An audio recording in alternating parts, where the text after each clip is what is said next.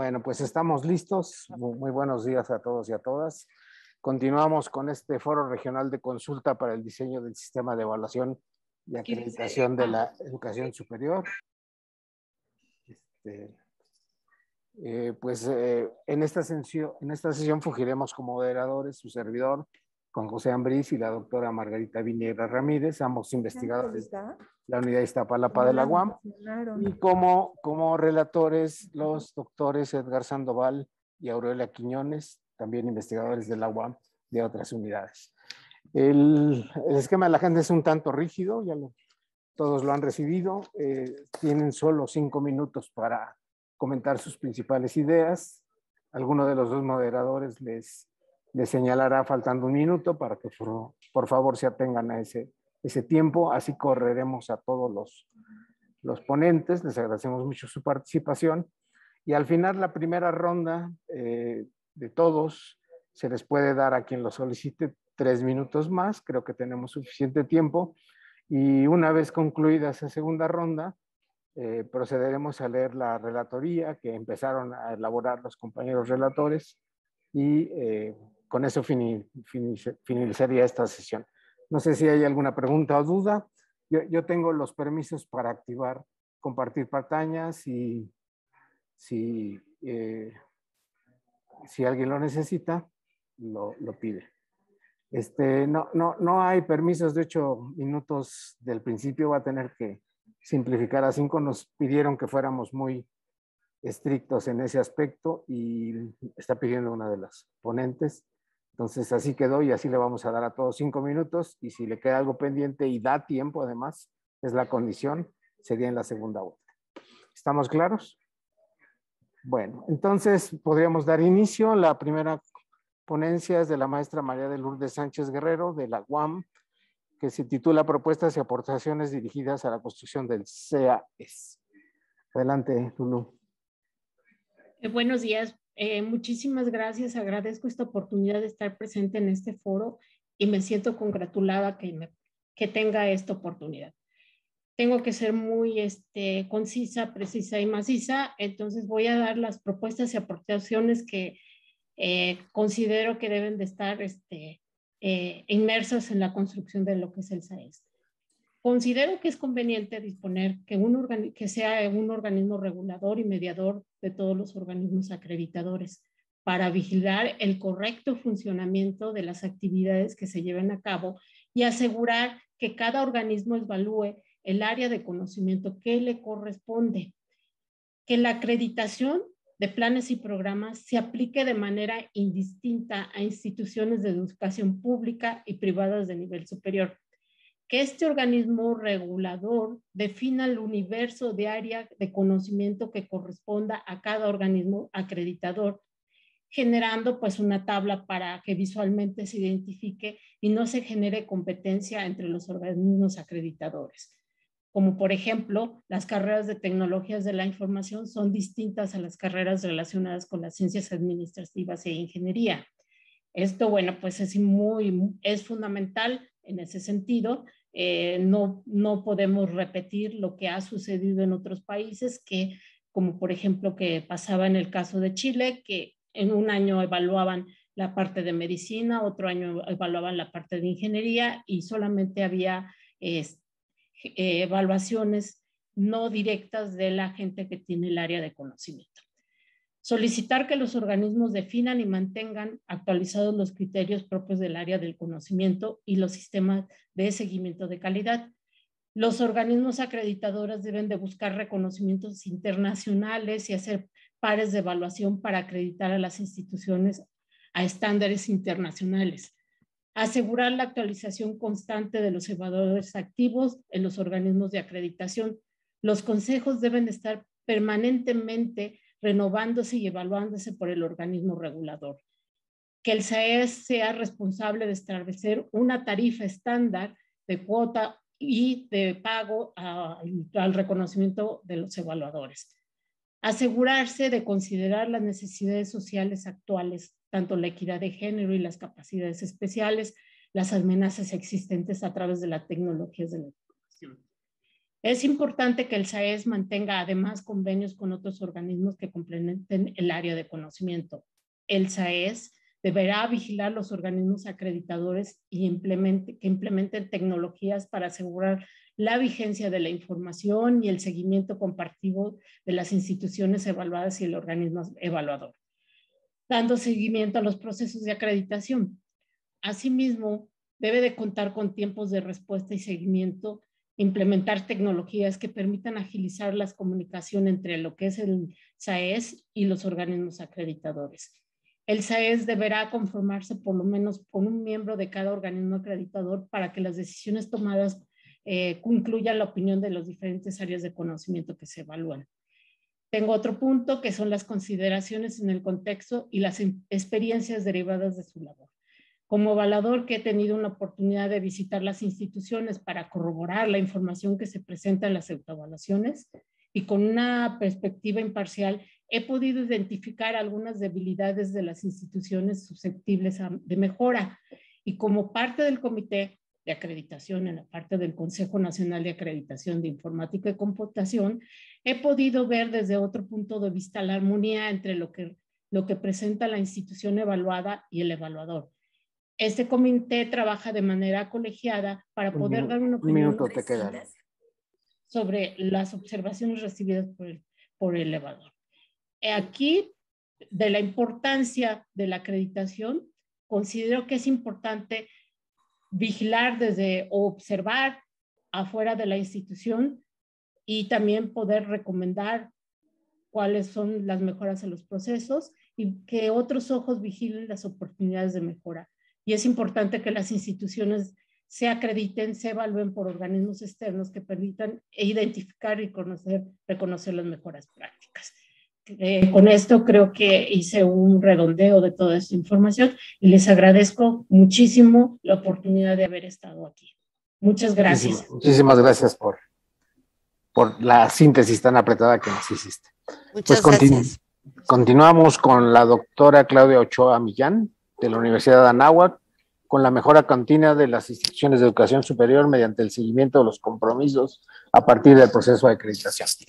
¿Sí se encuentra? Sí, aquí estoy. Adelante, doctora. Muchas gracias.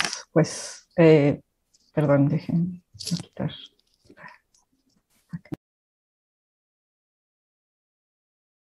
Listo.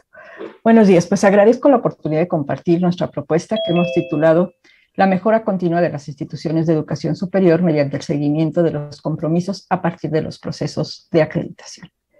La calidad de una institución educativa no se puede dar por sentada con una medición en un momento en el tiempo. La calidad no es un concepto fijo, por el contrario, se encuentra siempre en constante movimiento y se esperaría obtener un nivel cada vez más alto de este, este concepto. Para lograr este objetivo, es necesario que las instituciones de educación superior se comprometan no solamente con el momento de la evaluación, sino con los procesos que son necesarios llevar a cabo posterior a esta para lograr la mejora continua de la institución en todos los aspectos. La acreditación se observa entonces no como el punto de culminación de la calidad académica, sino como el inicio de un camino tendiente siempre a elevar el nivel de excelencia en cada una de las dimensiones evaluadas. La acreditación es esa mirada externa que nos muestra la radiografía de nuestra institución y nos invita a reflexionar sobre las áreas de oportunidad detectadas y también sobre los logros alcanzados. Para que estas áreas de oportunidad se conviertan en fortalezas, se requiere de la reflexión, no solamente por parte de la dirección de la institución. Debe incluir a toda la comunidad educativa. Es necesario que exista una comunicación constante entre todos los actores educativos con el fin de encontrar las mejores prácticas para hacer eficiente el proceso de mejora.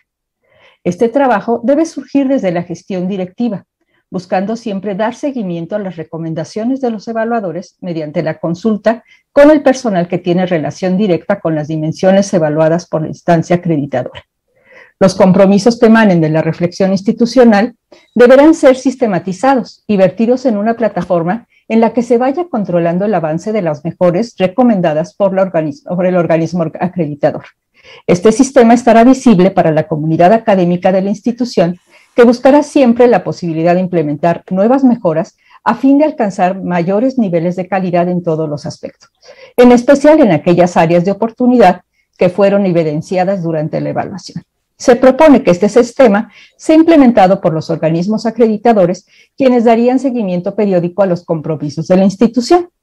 Con la implementación del sistema de evaluación se lograría que cada institución tuviera la posibilidad de llegar a una mejora continua, obteniendo cumplir con los siguientes puntos. La vinculación con el compromiso de la mejora continua por parte de todo el personal de la institución, la claridad al elaborar el plan de desarrollo institucional o propio de cada uno de los programas educativos, una mayor claridad y sencillez hacia la reacreditación de la institución o programa educativo. Se eliminaría la percepción de la acreditación solamente para rendición de cuentas. La creación de una cultura de evaluación al interior de las instituciones de educación superior. La formación de una cultura de calidad. Este seguimiento haría que el momento de la reacreditación se realice de una manera más fácil y en menor tiempo.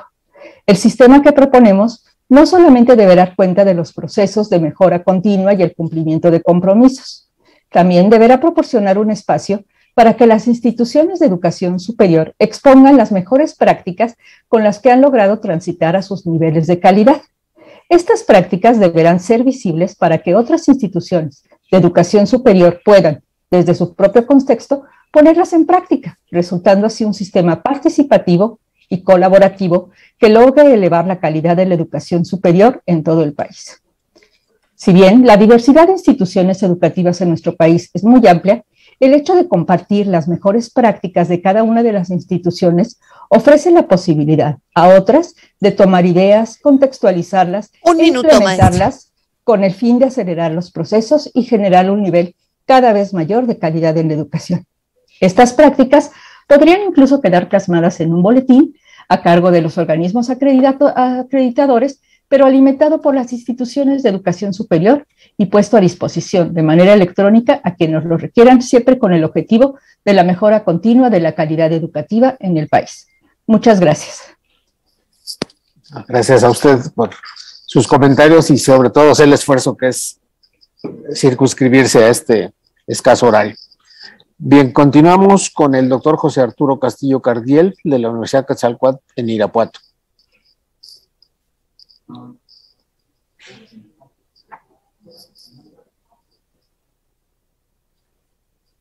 Doctor. Doctor José Arturo Castillo Cardiel. Creo que no, yo, yo, creo que no está en la sala. No, no lo encuentro con, el, con ese nombre. Ah, no, no estaba al principio. No al lo parecer sé. no, al parecer no, ¿verdad? No. Bueno, Eh, eh, pasaríamos al, al siguiente, al siguiente participante. Le correspondería a la maestra Lilian Kras- Krapsov Apel de la Universidad Abierta a Distancia de la Ciudad de México con su tema Evolución y Seguimiento. Adelante, maestra. Muy buenos días a todas, a todos. Es un gusto presentar esta propuesta a nombre de todo el equipo de la Universidad Abierta y a Distancia de México. Es un acierto que el sistema de evaluación y acreditación de la educación superior se esté construyendo con múltiples actores, pues la voz y participación de autoridades educativas, docentes, estudiantes administrativos, investigadores, expertos y expertas en la materia coadyuva a diseñar un sistema democrático, robusto e integral. De igual manera, es importante reconocer que el sistema no parte de cero y hay que construir de lo aprendido. Las instituciones realizan diversos esfuerzos para certificar sus programas educativos, así como para evaluar su gestión a nivel organizacional, situación que muestra una creciente cultura de la evaluación, la cual ahora nos convoca a su institucionalización, pero con una clara demanda, considerar los criterios de pertinencia, igualdad de género, interculturalidad y flexibilidad, entre otros. Implica sobre todo reconocer que las instituciones de educación superior no son un grupo homogéneo y están lejos de serlo, porque atienden distintos grupos de población, otorgan diferentes programas educativos, operan en dif diferentes contextos y brindan sus servicios a través de distintos tipos y modalidades. En este sentido, es necesario fortalecer la cultura de la evaluación enfocada en la comprensión de los fenómenos complejos del servicio educativo para generar acciones de mejora continua en el mediano y largo plazo, lo cual permitirá abandonar la mirada punitiva que todavía prevalece en la evaluación. Esta concepción de evaluación, entendida a partir del trinomio evaluación, análisis y seguimiento, requiere de la participación de toda la comunidad educativa, estudiantes, docentes, egresados, administrativos, investigadores, autoridades y comunidad en diferentes niveles y momentos.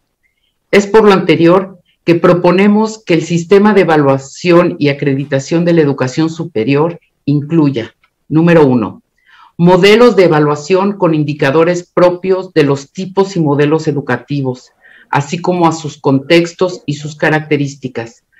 Para el, para el caso de la educación abierta y a distancia, se propone incorporar al Sistema Nacional indicadores específicos para la evaluación y acreditación de estas modalidades. Asimismo, se propone incluir indicadores que evalúen el impacto y responsabilidad social de las instituciones de educación superior en las comunidades a las que servimos. Dos, asignar los recursos humanos y materiales requeridos para analizar con profundidad los resultados de las evaluaciones e implementar planes de mejora continua y sus programas de seguimiento permanente, así como informar a la comunidad educativa acerca de los resultados de las evaluaciones e involucrarla en el diseño de los planes de mejora que solventarán las áreas de oportunidad, a fin de garantizar la utilidad de la evaluación y asegurar la mejora continua. Cito una frase del doctor Gilantón que le escuché en una entrevista de radio hace unos años al referirse a otro sistema de evaluación en otro momento del país, pero que me parece que ilustra perfectamente esta propuesta. Ya no pesen a la gallina, dijo el doctor Antón, ya denle de comer. menos evaluación, más análisis, menos evaluación, más planes de mejora continua, más seguimiento.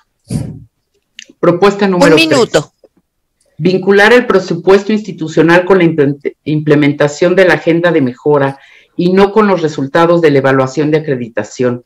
Lo anterior para garantizar equidad en la mejora continua de todas las instituciones.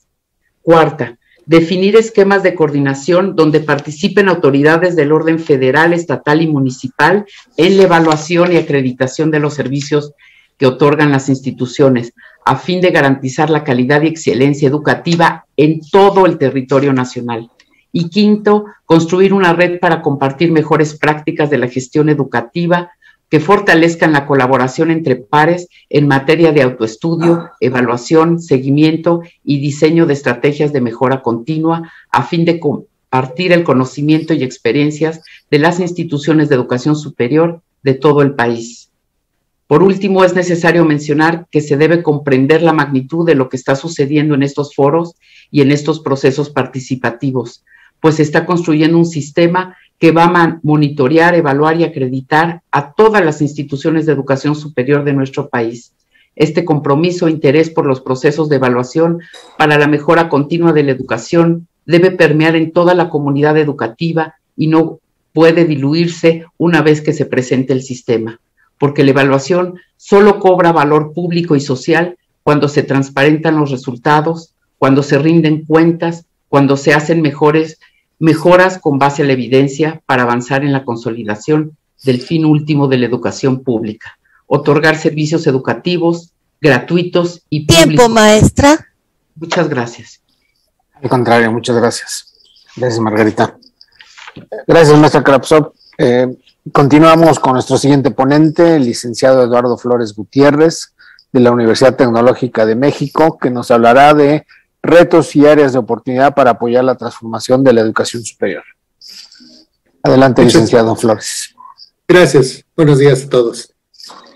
El sistema de evaluación y acreditación institucional y de programas académicos se enfrenta a varios retos. Uno muy importante es la integración de un sistema nacional que coordine los esfuerzos de todos los actores involucrados hacia un fin común con acciones y políticas claras de desarrollo, orientadas a la mejora continua para el bien de todos los estudiantes de educación superior.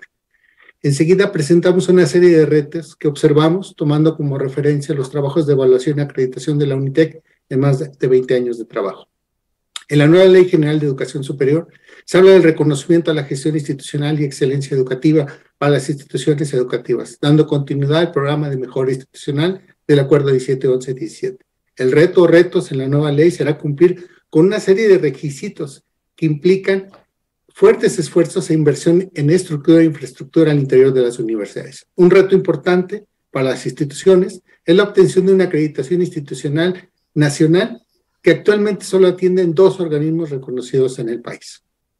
Otro reto que también hemos observado es la falta de uniformidad en los procesos de seguimiento de los programas académicos eh, durante el periodo de vigencia de cinco años de la acreditación en el caso de programas.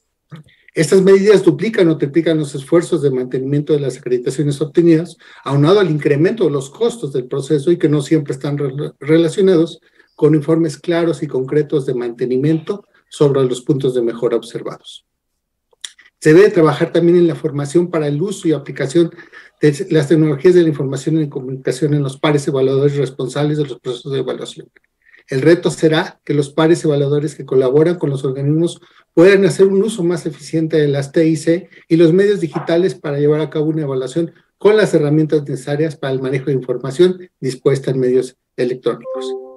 En ese mismo sentido, otro reto importante es contar con plataformas tecnológicas para que las universidades puedan colocar, revisar e intercambiar información relevante para el proceso de evaluación, aplicando medidas claras de seguridad, protección y resguardo de los datos y salvaguardando la integridad de la información proporcionada. A su vez, el sistema de evaluación y acreditación tendrá un reto importante, la innovación y mejora en los instrumentos de evaluación que aplican los organismos, los cuales no han sido modificados de manera significativa en los últimos 10 años. Prueba de ello son las mismas 10 categorías de evaluación que aplican los organismos.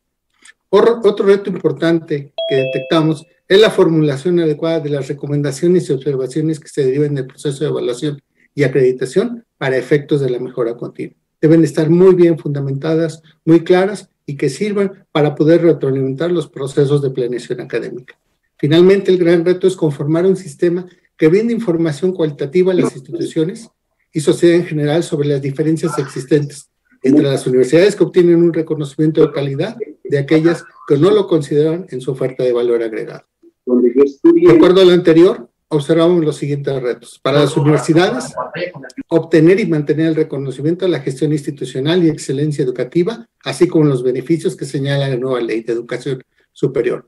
Para los organismos, unificar los procesos de seguimiento y mantenimiento de los programas académicos en su periodo de vigencia mejorar la formación de los padres evaluadores para el uso de las tecnologías de la información, contar con plataformas tecnológicas adecuadas y eficientes para que las universidades puedan colocar, revisar e intercambiar información de los procesos de evaluación, formular de forma adecuada las recomendaciones, observaciones que se derivan del proceso de evaluación y acreditación que alimenten el proceso de mejora continua de los procesos.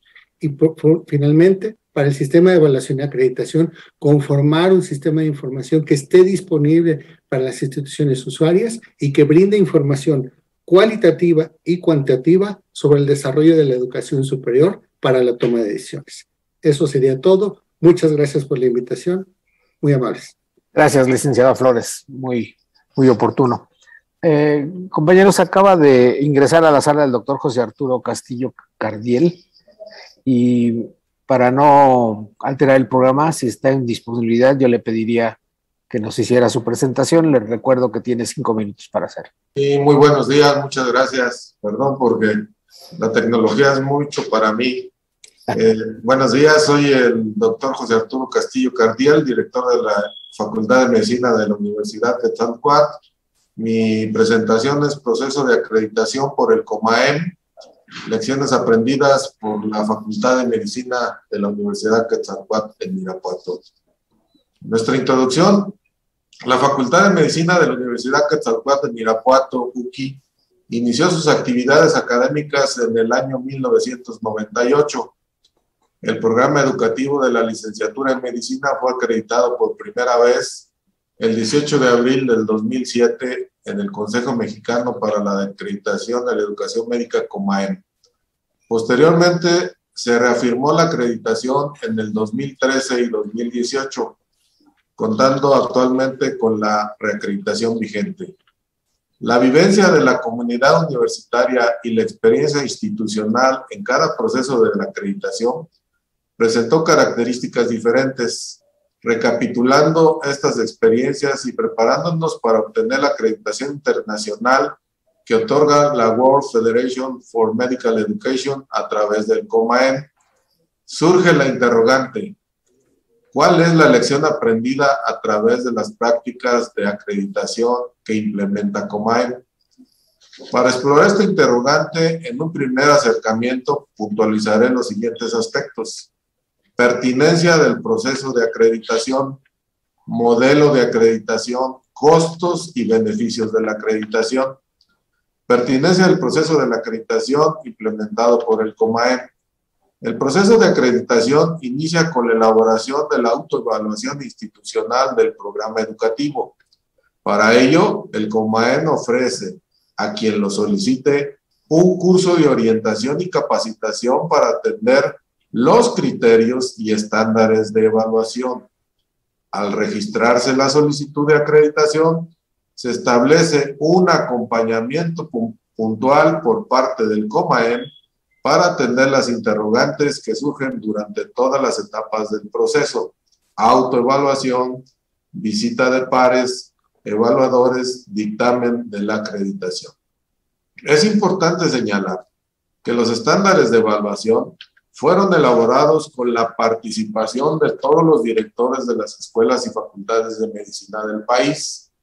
Asimismo, los equipos de, verificación que realizan la misma visita a las escuelas de medicina son pares académicos de instituciones del país con funciones docentes, científicas y administrativas en sus instituciones de procedencia.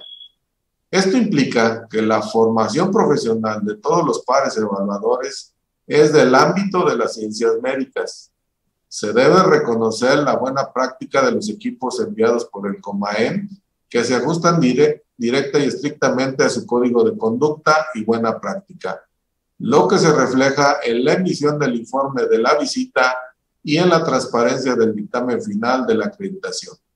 En el caso particular de la Universidad Quetzalcoatl, el COMAEN elaboró en la capacitación del personal una intensa colaboración que integra el Comité de Acreditación de la UCI y que actualmente realiza de manera permanente, permanente perdón, la autoevaluación institucional. Modelo de acreditación del COMAEM.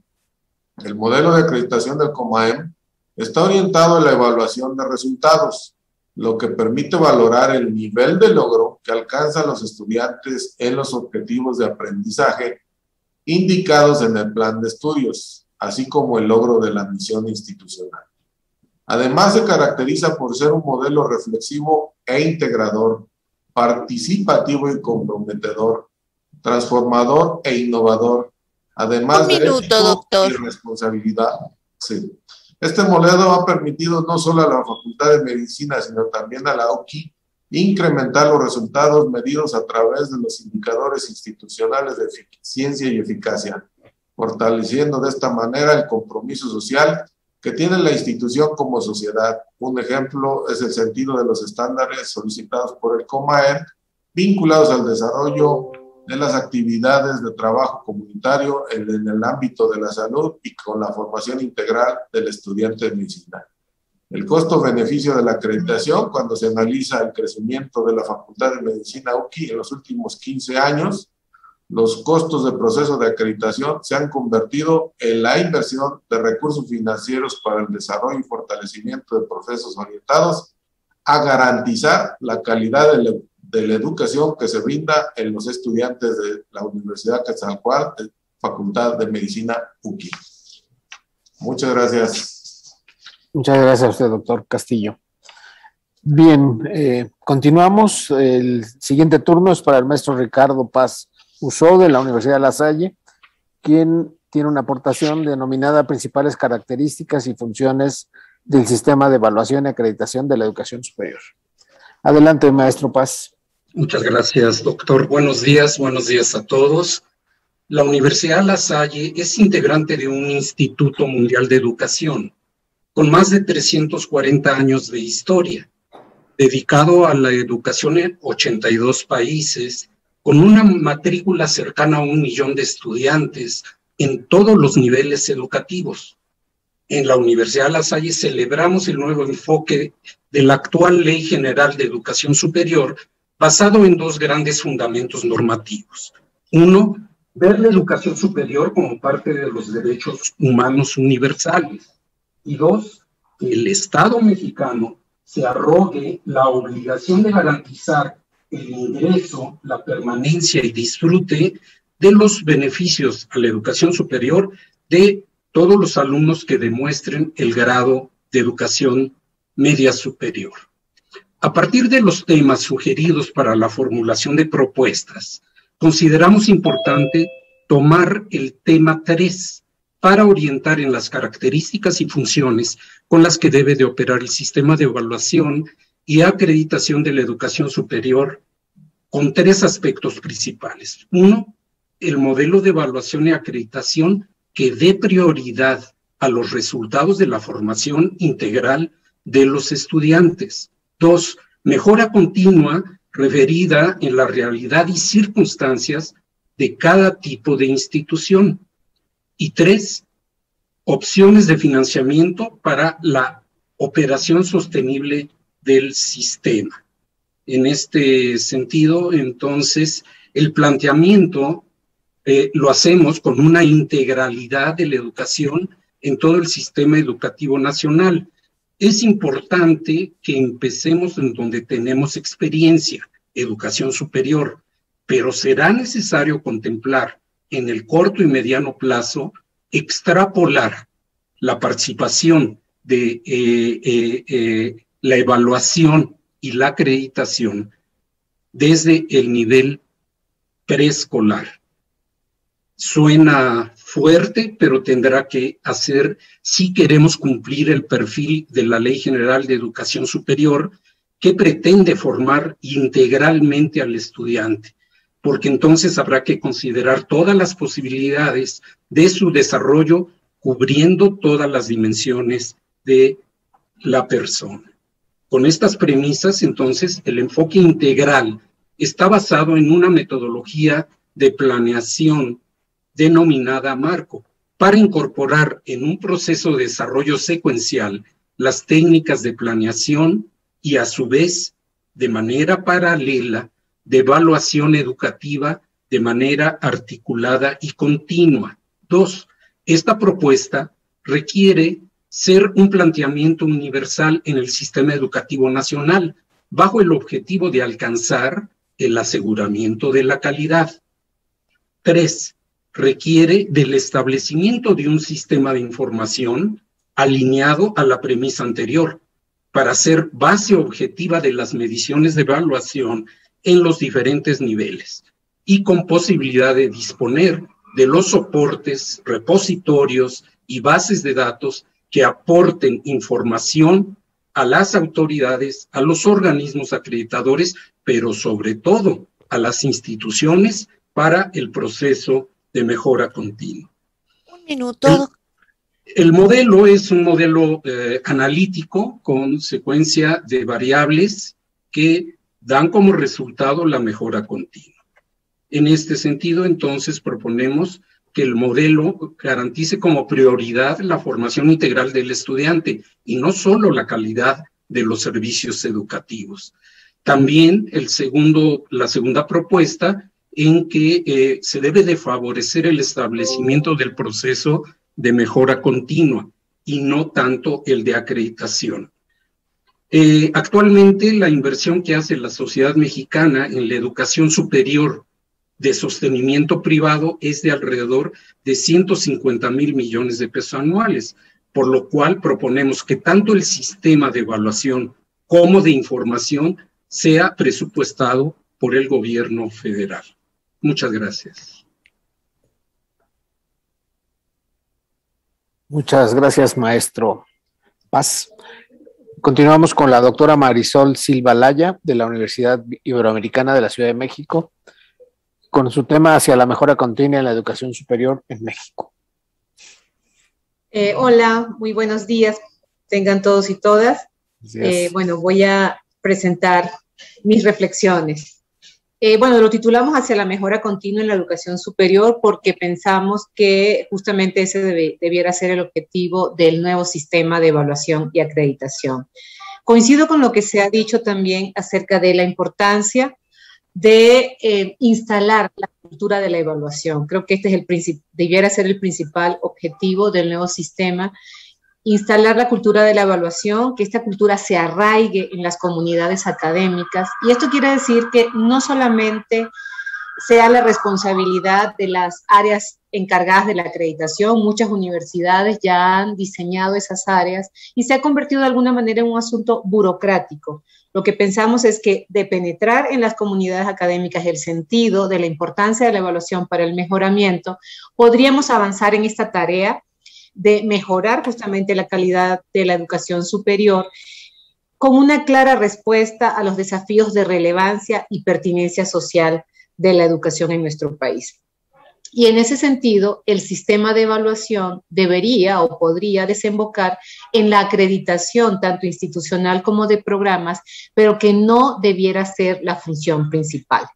Entonces, en este marco de reflexión sobre la importancia de la cultura de la evaluación, nosotras en la universidad preparamos algunas reflexiones sobre los temas que venían sugeridos en la invitación y voy a compartir solo un par de esas reflexiones. En primer lugar, en lo que tiene que ver con el análisis del modelo y las políticas de evaluación y acreditación de la educación superior, y particularmente sobre los logros y limitaciones de las prácticas de evaluación y acreditación que hemos tenido durante los últimos 30 años. Eh, como en aciertos, no sé si logros, pero sí algunas fortalezas, tenemos que reconocer que, bueno, en este camino andado tenemos que recuperar los aprendizajes.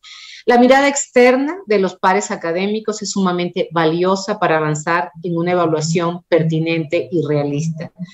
Eh, del mismo modo, el ejercicio del autodiagnóstico o la autoevaluación resulta una práctica central para revisar eh, lo que está ocurriendo en las experiencias internas de la universidad y también para fomentar la autocrítica y la definición de planes de mejora. La combinación entonces de la mirada externa y la autocrítica interna resultan pilares importantes al momento de hacer la evaluación.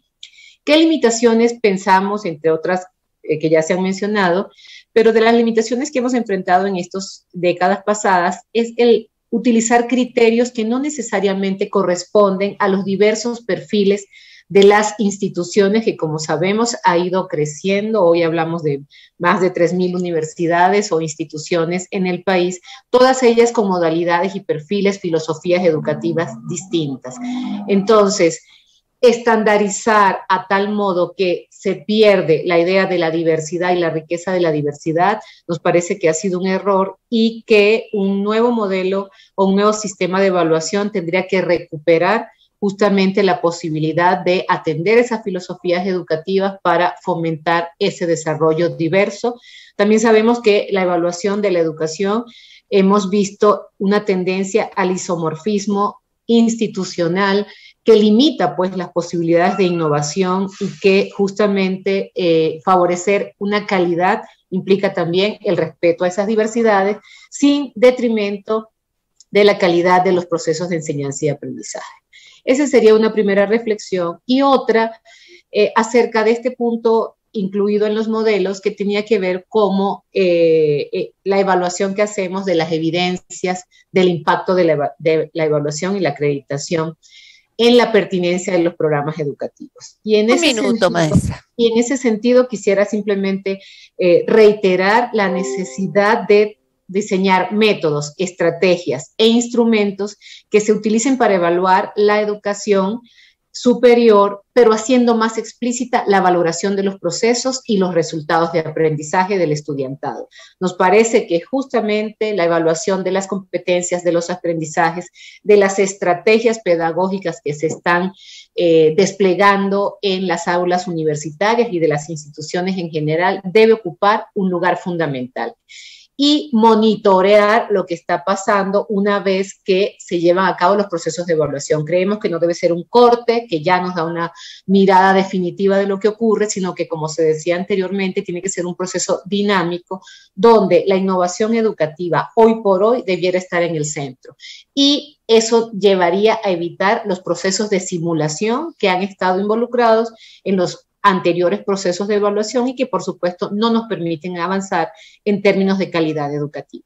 Esa sería mi reflexión. Muchas gracias. Muchísimas gracias, doctora. Continuamos. Eh, la octava presentación es por la maestra Erika Zapata Rodríguez de la Universidad Autónoma de San Luis Potosí y dice propuestas de la, del CNIP. Adelante, maestra Zapata. Muy buenos días, muy buenos días. Mucho gusto de poder estar compartiendo con ustedes el día de hoy. Yo creo que en la actualidad estamos ante un parteaguas que va a definir el nuevo rumbo de la acreditación en el país. Ahora al entrar en vigor la nueva Ley General de Educación Superior, que sin duda contempla y marca los lineamientos para la acreditación y la mejora continua de la educación superior en el país. Derivado de esta ley, pues se va a conformar este sistema de evaluación y acreditación de la educación superior que ahora pues será el organismo que lidere, rija y determine las condiciones, requerimientos y estrategias que normarán a la acreditación y a la mejora continua en el país. Como parte del proceso de integración, yo creo que resulta imperante que los organismos acreditadores, ya sea pertenecientes a COPAES, cual todos los organismos que, hoy en día acreditamos, podamos generar propuestas sobre las temáticas que consideramos de interés y que deberían de ser contempladas a fin de consolidar este CAES y sus líneas de trabajo en función de nuestras buenas prácticas y las estrategias en las que coadyuvamos con las instituciones de educación superior para su propio proceso de mejora continua. Desde hace 50 años que se fundó este Consejo Nacional para la Enseñanza e Investigación en Psicología, el CELCENEI, incluso antes de la acreditación en el país, y creo que esto vale la pena mencionarlo, ha estado orientado a dictaminar la calidad de los programas educativos en el área de psicología, eh, en el ámbito internacional y nacional, así como promover la investigación interdisciplinaria en la psicología y otras ciencias profesionales, además de establecer normas de excelencia, calidad académica y científica y recomendar su aplicación en las diversas instituciones de enseñanza o investigación. Algo que ha caracterizado al CNEI es su trabajo sin fines de lucro, enfocado exclusivamente a la mejora continua de carácter académico y profesional de las instituciones de educación superior, así como de la generación de estrategias para contribuir en diversos espacios con estas CIES, como lo es el financiamiento para la investigación, en el que actualmente se trabaja con cuatro líneas diferentes y la participación de 18 universidades, por otra parte, se promueve el trabajo académico a través de los premios al mérito nacional y a la mejor tesis. También hay un programa de becas para estudiantes y profesores.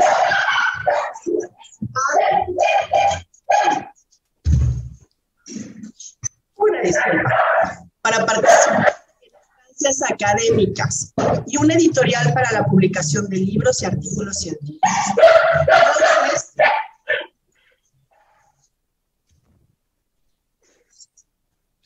Entonces, en este momento, bueno, está a punto de publicar tres libros diferentes. Lo anterior destaca el impacto del trabajo del CNEI como organismo acreditado en la organización, desarrollo y mejora de los programas que acredita, mismos que a la fecha son más de 100, incluyendo algunos internacionales. Entonces, en ese sentido, eh, la sistematización de los procesos generada a través de la normalización propuesta por el Consejo para la Acreditación de la Educación Superior COPAES ha motivado en las instituciones de educación superior públicas y particulares el diseño e implementación de modelos de gestión de calidad encaminados al logro de los objetivos y metas planteadas, así como a los resultados. En ese sentido, podemos proponer, uno, que como parte del trabajo de los organismos acreditadores, independientemente de cómo sea la forma en que se integren en este nuevo sistema, incluyan estrategias para apoyar a las CIES en otros rubros además de la acreditación, como lo son financiamiento para la investigación, edición de libros con lineamientos para su disciplina, becas para alumnos, docentes, etc. La segunda propuesta sería, desde hace ya algunos años el CNIP ha insistido en que el otorgamiento del REBON a nuevos programas de psicología, que en este caso aplicaría para todas las disciplinas, debería hacerse a la par del dictamen realizado por el organismo acreditado. Toda vez que se conoce y maneja los estándares mínimos para que un programa pueda ser considerado de, de calidad. Hasta ahora solo lo hemos logrado en el estado de Jalisco. Sin embargo, la calidad de un programa educativo debe estar presente desde el inicio, garantizando que ese programa cuenta con los elementos mínimos para operar y formar profesionistas del más alto nivel, para la cual la colaboración entre el CEP, la CEP, y los organismos acreditadores es fundamental.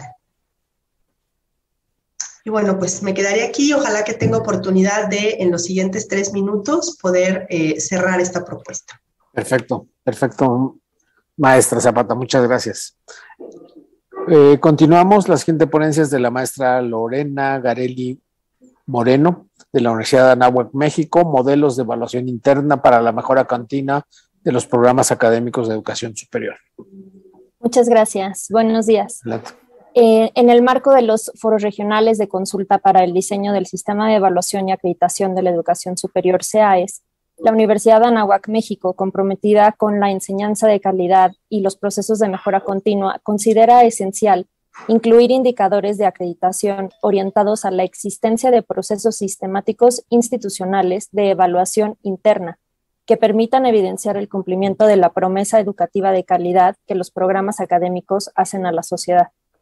Hasta ahora, los procesos de acreditación de un programa académico se han basado en criterios de organismos externos a la institución, que si bien buscan la mejora continua del programa, suelen verse ajenos a los procesos que contribuyen en el día a día a generar un cambio interno significativo.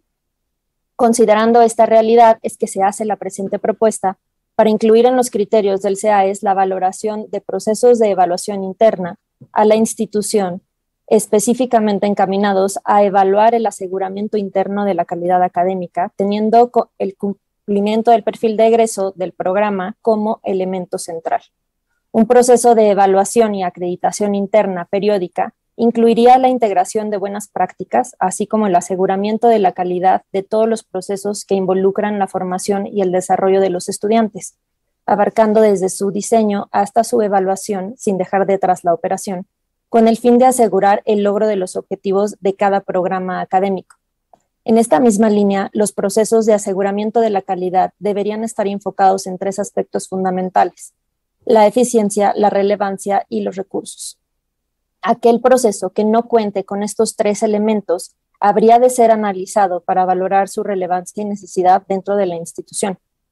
Con ello, la calidad educativa implicaría lograr el cumplimiento de los propósitos institucionales mediante la observancia de estándares de calidad con eficiencia, eficacia y consistencia para favorecer la generación de una cultura de calidad y lograr un impacto de la labor sustantiva de la institución.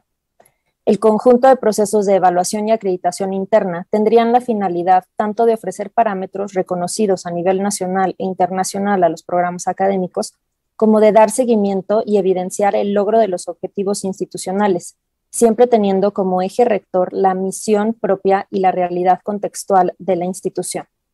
De esta manera, estaría diseñada para y por los miembros de la comunidad universitaria, encargados de alcanzar los objetivos señalados, haciendo de su día a día una contribución constante a la mejora continua del programa. Lo que este proceso de evaluación y acreditación interna y continua pretende lograr es asumir la importancia de llevar a cabo procesos ordinarios que contribuyan al mejoramiento del programa y con ello no esperar tres o cuatro años para retomar las acciones recomendadas por organismos externos que pudieron no haber tenido relevancia para la realidad del programa o incluso de la institución. Por otro lado, uno de los principales procesos internos de aseguramiento de la calidad contenido en los anteriormente mencionados debería ser aquel que logre analizar a través de diferentes insumos el logro del perfil de egreso del programa académico, estableciendo en el, establecido en el plan de estudios, avalado y reconocido por la máxima autoridad estatal o federal en materia de educación. Dicho proceso supondría la identificación de aquellos momentos clave dentro del proceso de aprendizaje del alumno en el que se pueda evidenciar el avance en el desarrollo o adquisición de las competencias y o resultados de aprendizaje esperados. Este trabajo conllevaría el diseño de un mapeo que relacione los objetivos o competencias generales con las asignaturas del programa, de manera que se pueda tener un panorama general del mismo y se logren estipular los medios e instrumentos de evaluación adecuados para evidenciar el avance esperado hasta el momento. Con ello, a través de insumos tanto cuantitativos como cualitativos, se llevaría a cabo una medición que facilite el análisis para evidenciar el logro del perfil de egreso de dicho programa evaluando las labores realizadas y estableciendo acciones concretas que lleven a la mejora. El análisis periódico de diferentes insumos crearía un ciclo virtuoso de calidad y mejora continua, que de manera interna al programa definiría los pasos a seguir en torno a temas de evaluación educativa. Partiendo de la noción de que la finalidad del CEAES es crear un sistema de evaluación y acreditación que involucre a los diferentes actores educativos de la sociedad, además de que considere las distintas realidades de las instituciones de educación superior, esta propuesta no hace diferencia entre tipos o tamaños de instituciones, ya que se basa en aquella promesa que cada programa hace tanto a sus futuros egresados como a los empleadores de estos, y por tanto debe estar fundamentada en principios éticos que promuevan la calidad desde el interior del programa y que contribuyan hacia la cultura de calidad y evaluación de la institución. Muchas gracias. Gracias a usted, maestra Garelli. Bueno, continuamos. Décima conferencia por la doctora Sardel Jacobo de la Facultad de Estudios Superiores de Iztacala de la UNAM hacia el diseño del sistema de evaluación, acreditación del sistema de educación superior con apego a una cultura de educación superior inclusiva. Adelante, doctora. Muchas gracias, muy buenos días a todos. Quisiera iniciar dando las gracias por este espacio y presentar una propuesta para educación superior que vale también para los diferentes niveles educativos. Esta propuesta está basada en una experiencia realizada por la RIDES MX y el CRAM Anuyes. Está basada también a partir del clamor internacional de los derechos humanos que ha surgido a partir del desgarrado tejido humano que, crece y cada vez más se acrecienta. Fruto de, eh, los, del clamor de los derechos humanos, se realizó la Convención de los Derechos de las Personas con Discapacidad en 2006 eh, de la ONU, que fue resultado de movimientos sociales y de una sociedad activa que exigió un cambio desde un modelo social que brindara una inclusión efectiva para las personas con discapacidad a través de la eliminación de las barreras sociales externas. Los países integrantes de la ONU firmaron la convención comprometiéndose a dar cumplimiento a sus propuestas, entregar informes de avance ante la ONU y han recibido las revisiones periódicas de vueltas de la ONU, donde lamentablemente hay un muy, muy poco avance y resulta de emergencia ante la desigualdad creciente, pobreza e injusticia, volver a revisar de qué estamos hablando. Para estas personas con discapacidad, no solo hay una exterioridad que las constituye en su, en su vulnerabilidad, sino también inclusive los grupos, eh, los grupos vulnerados como el feminista, el, indígena y el, y el LGBT, también los han olvidado de sus clamores. Y un tercer agregado resulta de su propia identidad y apropiación de este bagaje de exterioridad y se conciben como mujeres en falta, en disfunción y en la impotencia de realizar proyectos de vida ante una realidad que no hay condiciones para que las realicen. Ante este panorama, se han impactado eh, estas, eh, estas manifestaciones. Bueno, hemos visto el impacto de este desgarramiento por las inéditas eh, expresiones en la cultura de movimientos culturales emergentes. Desde el foro CRAM y la NUYES hemos realizado una experiencia que ha valido la pena y que consistieron en la presentación, elaboración y realización de seis foros en donde se abordaron diferentes temáticas en la cual contamos, y esto es fundamental, con rectores de las instituciones de educación superior del área metropolitana. En segundo lugar, con la valiosa participación de docentes y jóvenes con discapacidad que dieron la voz sobre su situación. Y al mismo tiempo, conferencistas internacionales y docentes e investigadores. Fruto de este, este trabajo ha tenido un impacto fundamental en tres postulados o diríamos en tres acontecimientos que nos parecen relevantes y que son el fundamento para tener que revisar la función educativa de manera genérica.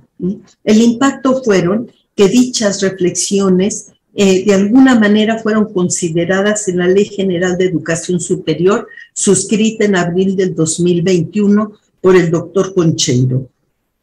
Por otro lado, se llevó a buen puerto una publicación por COMIE, eh, digo desde, mm, perdón, una publicación por Anuyes, me distrajo la interrupción, eh, y además esa publicación será en formato accesible que dará lugar a la bandera de cómo implementar una educación inclusiva para todo el país y que vaya inclusive más allá de la inclusión. Dicha propuesta la retomo en los, en los siguientes tres minutos que me corresponden. Muchas gracias. Gracias, doctora Sardel, por su colaboración, pero así estamos siendo justos con todos y todas. Bien, eh, la siguiente intervención es del doctor José Luis Morán López, del Instituto Potosino de Investigación Científica y Tecnológica, que propone el sistema de evaluación y acreditación de la educación superior, una propuesta del CAPEF. Muy buenas tardes. Eh, muchas gracias. Eh, se presenta una iniciativa para la conformación del sistema de evaluación y acreditación de educación superior. Para su diseño se realizó un análisis de los acuerdos tomados y acciones realizadas desde 1989, año en que se institucionalizó la evaluación de la educación en México. Eh, para configurar el esquema vigente de evaluación y acreditación de programas educativos del tipo superior. Se comentan también ciertas problemáticas que aquejan el funcionamiento del sistema vigente y que es necesario considerar en el diseño del sistema. Consideramos que el diseño del sistema de evaluación y acreditación de educación superior debe partir de reconocer y utilizar las experiencias y capacidades que se han eh, construyendo, se han ido construyendo por más de dos décadas para sustentar la evaluación y acreditación eh, de este tipo educativo. A la vez de superar las debilidades que existen, eh, se pretende en particular aprovechar las capacidades y experiencias de las organizaciones formalmente reconocidas en este momento por el COPAES. Cabe señalar que el principio fundamental sobre el que se construyó el esquema vigente de evaluación y acreditación ha sido el de su carácter no gubernamental. Esto me gustaría remarcarlo. Consideramos que el sistema debe preservar esta característica para garantizar la independencia de su funcionamiento y decisiones. Para ello, proponemos la creación, en el marco de la ley, de un organismo autónomo. Es importante esta palabra. Un organismo autónomo que evite el conflicto de intereses con las autoridades educativas y cuya función sea la de regular, supervisar, promover la mejora continua y el aseguramiento de la calidad de los programas educativos impartidos por las instituciones públicas y particulares y dar fe del rigor y validez de los procesos de evaluación y acreditación de los programas. Este, este organismo autónomo regularía el sistema y daría autorización solo a aquellas organizaciones especializadas que contaran, entre otros aspectos, con las capacidades, eh, la infraestructura, procedimientos, marcos de evaluación, un código de ética y sitios eh, y altos estándares para el rigor académico requerido, así como esquemas eficientes para la transparencia y la rendición oportuna de cuentas para llevar a cabo los procesos de evaluación y acreditación. Asimismo, supervisaría permanentemente su funcionamiento y en caso de encontrar irregularidades, retiraría la autorización. También fungiría como un organismo de tercera parte para la, para la solución de controversias, entre otras funciones. El sistema estaría integrado por el organismo autónomo y los organismos especializados que hayan sido autorizados por el mismo para llevar a cabo las actividades de evaluación y acreditación de programas educativos se hace una propuesta para la organización, integración y financiamiento del organismo. ¿Cuál es la problemática?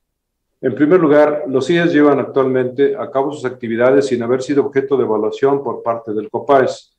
Eh, en su caso, para lograr su reconocimiento eh, de este organismo regulador, eh, no ha sido este, ejecutado. Resultado de esta situación, operan sin estar sujetos a un marco regulatorio.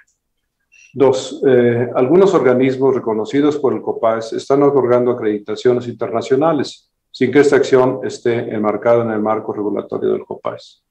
Tres, el Ceneval, al registrar programas de licenciatura en el padrón de licenciaturas de alto rendimiento por la vía de los hechos, está otorgando una constancia de calidad a los mismos. Sin embargo, su funcionamiento, al igual que los CIES, no está enmarcado en un marco regulatorio como lo está organizado, este, reconocidos por el COPAS. El Sistema Nacional de Posgrado del CONACIT no se enmarca en el sistema de regulación establecido. Un minuto. Gracias. La propuesta es entonces eh, considerar que el diseño de este sistema debe partir de reconocer y utilizar las experiencias y capacidades que se han ido construyendo por más de dos décadas para sustentar la evaluación y acreditación de la educación superior, a la vez de superar debilidades que existen, en particular las capacidades y experiencias de las organizaciones reconocidas actualmente por COPAS. Para ello, proponemos la creación, en el marco de la ley, de un organismo autónomo que evite el conflicto de interés con las autoridades educativas y cuya función sea la de regular, supervisar, promover la continua y el aseguramiento de la calidad de los programas educativos impartidos por las eh, este, eh, instituciones de educación superior.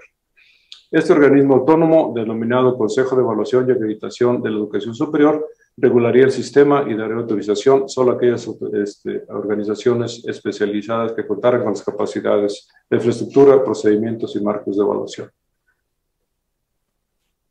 Eh, aquí termino este, mi, mi primera intervención. Eh, en la eh, parte siguiente trataría yo de, este, de, dar a conocer cuál es la propuesta que tendríamos para, para formar el Consejo. Muchas gracias. Gracias, doctor Morán. Muchas gracias.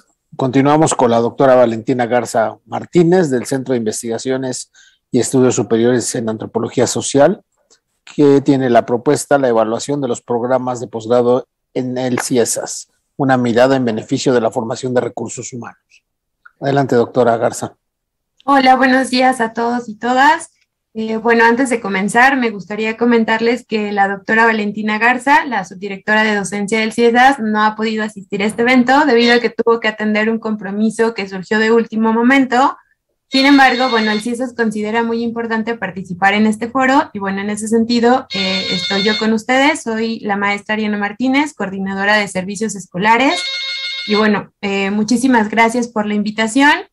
Sin más preámbulo, les voy a compartir la propuesta que nosotros tenemos. Y bueno, pues el Centro de Investigaciones y Estudios Superiores en Antropología Social, también conocido como CIESAS, es un organismo público descentralizado que forma parte de uno de los 26 centros públicos de investigación del Consejo Nacional de Ciencia y Tecnología del CONACYT. Y bueno, este 2021 cumplió 48 años de trayectoria en investigación y formación de recursos humanos eh, de posgrados en disciplinas como antropología, ciencias sociales, etnohistoria, historia y lingüística indoamericana. En el CIESAS tenemos muy presente que la formación brindada a nuestros estudiantes va a generar un impacto no solo en el desarrollo de su pensamiento académico, sino también en el ámbito profesional y personal, pues al concluir sus estudios de posgrado se insertarán en un mercado laboral y en una realidad social con características específicas que les demandarán habilidades y herramientas particulares. Por lo anterior, para nosotros es fundamental reflexionar y evaluar nuestros programas y planes de estudio de manera continua. Debido a la estructura orgánica de los posgrados y a que somos un centro público, contamos con dos tipos de evaluación permanente, una interna y otra externa. La primera de ellas está a cargo de instancias como la Dirección General, la Dirección Académica, el Consejo Técnico Consultivo, la Subdirección de Docencia, el Consejo General de Posgrado y de los colegios académicos de cada posgrado. Las segundas son realizadas por el Comité Externo de Evaluación que se reúne semestralmente para revisar las acciones y emitir las recomendaciones y, bueno, emitir recomendaciones y por los comités de pares coordinados por el CONACIT, a través de un proceso de renovación del Programa Nacional de Posgrados de Calidad que evalúa la pertinencia de los programas y les otorga vigencia. Los criterios de ambos tipos de evaluación comprenden aspectos relacionados con la infraestructura, los programas de estudio, la planta docente, los espacios y servicios proporcionados, la estructura de los posgrados, el seguimiento de egresados, entre otros. No obstante, en esta participación pretendemos dar cuenta de los instrumentos que nos posibilitan identificar la pertinencia de los planes de estudio y de la formación académica a través de la experiencia del alumnado Lo anterior se debe a que consideramos que nuestros estudiantes son el principal objetivo y un buen indicador del proceso de enseñanza-aprendizaje gestado en el CIESAS. La manera en que hemos recopilado la percepción que tienen nuestros estudiantes acerca de la formación académica que reciben ha sido mediante la implementación de tres instrumentos que se aplican durante y después de la obtención del grado, mediante la plataforma de control escolar a través de la cual pueden ingresar con el usuario y contraseña asignados. El primer instrumento es una evaluación docente que los alumnos realizan por asignatura cursada al concluir cada cuatrimestre. Y tiene la característica de ser confidencial, lo cual les da más libertad de expresarse abiertamente. En esta se evalúan la organización del curso, el manejo de la temática por parte del profesor, la dinámica del curso, la aclaración de dudas, la pertinencia de, la bibliografía, asistencia y puntualidad del profesor, las actividades diseñadas y su evaluación. Asimismo, se pide que mencionen los aciertos y desaciertos de la actividad docente, que proporcionen algunas recomendaciones y, a, su, a su vez mencionen la utilidad del curso en relación con sus proyectos de investigación. Una vez que se tienen las respuestas sistematizadas, se entregan en un concentrado al colegio académico de cada programa. Este se encarga de realizar reuniones periódicas con cada docente para revisar los resultados de las evaluaciones. El objetivo es brindar una retroalimentación a nuestros profesores investigadores con la que logren identificar los aspectos que pueden mejorar y aquellos que pueden potenciar. El segundo instrumento es una, encuesta de satisfacción que nuestros estudiantes contestan una vez que concluyen sus créditos académicos. Un minuto. Gracias, sí. Se compone de dos rubros. El primero tiene que ver con los servicios brindados por el CIESAS durante su estancia en el programa de posgrado y contiene aspectos relacionados con las instalaciones y el equipo tecnológico, el servicio de biblioteca, apoyo de las secretarias técnicas y los servicios escolares. Mientras que el segundo retoma la experiencia académica y, tiene la y atiende a la percepción que el alumnado tiene del plan de estudios, las líneas de especialización, eventos académicos, el proceso de asignación y seguimiento de su director de tesis, el desempeño de los docentes en las aulas, los aspectos que consideran podrían ser de utilidad para su vida profesional. Tercer instrumento es una encuesta de seguimiento egresados que aplica se aplica aproximadamente después de seis meses de que han adquirido el grado. En estas incluyen preguntas que pretenden conocer la trayectoria académica y laboral de los graduados, eh, es decir, si se han insertado en otro programa de posgrado, los cursos o seminarios, etc. Y a su vez, si han publicado en algún medio de divulgación. En términos generales, y a partir de los resultados arrojados por los tres instrumentos, se puede mencionar que el desempeño de los profesores ha sido prolífico y en los casos en que no, el colegio académico ha brindado un seguimiento puntual. Respecto a las dos últimas encuestas, los estudiantes y egresados del CIESAS consideran que los servicios y la formación académica brindados fueron adecuados para desarrollarse profesionalmente, especialmente tras la, obtención de conocimientos sólidos en teoría y metodología. Si bien estos tres instrumentos nos han proporcionado información relevante respecto a la pertinencia de la formación académica, se ha considerado oportuno realizar una adecuación que resalte aspectos puntuales de los planes de estudio para futuras actualizaciones en beneficio de los perfiles de egreso y de la inserción de los graduados al mercado laboral. Terminó. Justo, justo iba a decirle que terminaba su tiempo. Muchas gracias, maestra Martínez. Muy importante la contribución del CIESAS. Bien, a continuación el maestro Héctor Fernando Sánchez Posadas, de la propia UAM, presenta su trabajo Modelo y Políticas de Evaluación y Acreditación de la Educación Superior.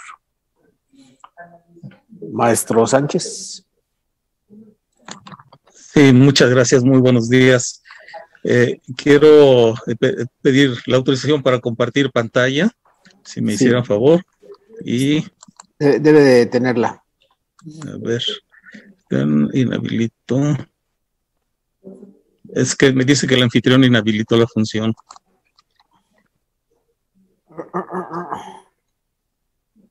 Ahí no. No, no, no, no me permite. Estoy pidiendo ayuda para. Sí, gracias. Según me dijeron, habilitar. Bueno, si no, pues este. Ya, ya, ya, ya, ya me permitió. Y ahora sí.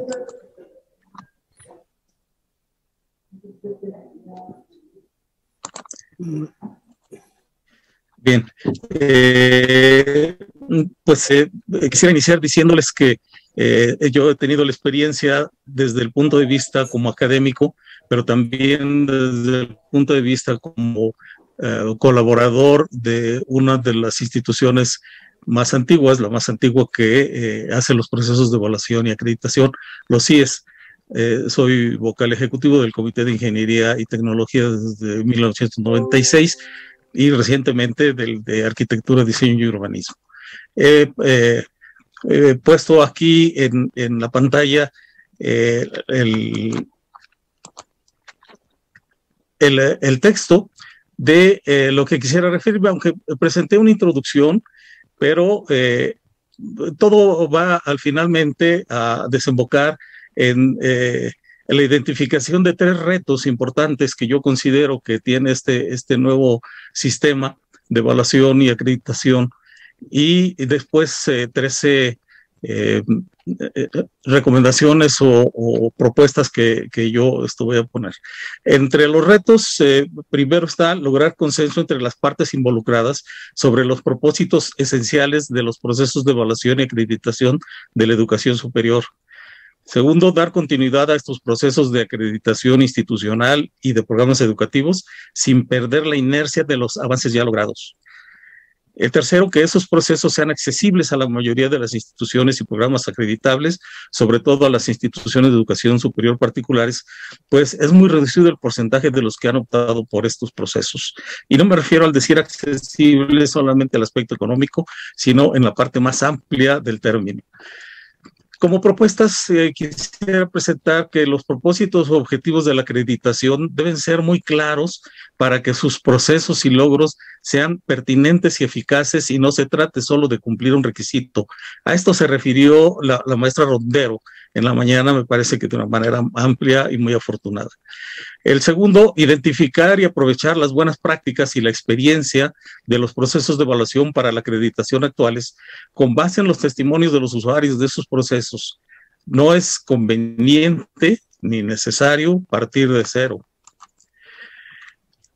Que la estructuración, definición y operación del modelo y políticas de evaluación y acreditación de la educación superior se privilegia la participación de académicos para garantizar la pertinencia y factibilidad de las acciones y, e impactos que se deriven de este modelo.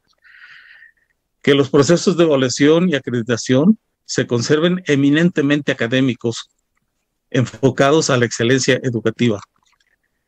Que el Estado cuide que no se lucre con los procesos de evaluación y acreditación y que no haya simulaciones la evaluación para la acreditación debe tomar en cuenta los resultados, pero también los insumos y los procesos.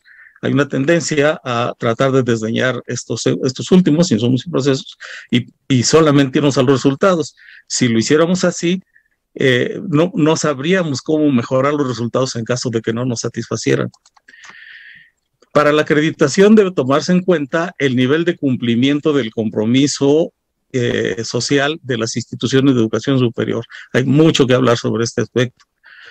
Si se pretende que la territorialidad sea considerada para la acreditación, no debe propiciar que los egresados se encuentren en desventaja si decidieran desempeñarse profesionalmente en otras regiones del país. La evaluación para la acreditación no debe basarse en la comparación competitiva entre instituciones de educación superior, sino en la mejora continua de la propia institución con base en sus logros educativos, principalmente la eficacia de los aprendizajes y el desarrollo de criterios de los estudiantes. Los procesos de acreditación deben cuidar que egresados de programas de igual denominación reciban la formación disciplinar necesaria para su desempeño profesional sin desventajas, sin importar la diversidad de la institución de educación superior que los eh, acoja, ni los subsistemas diferentes que existen.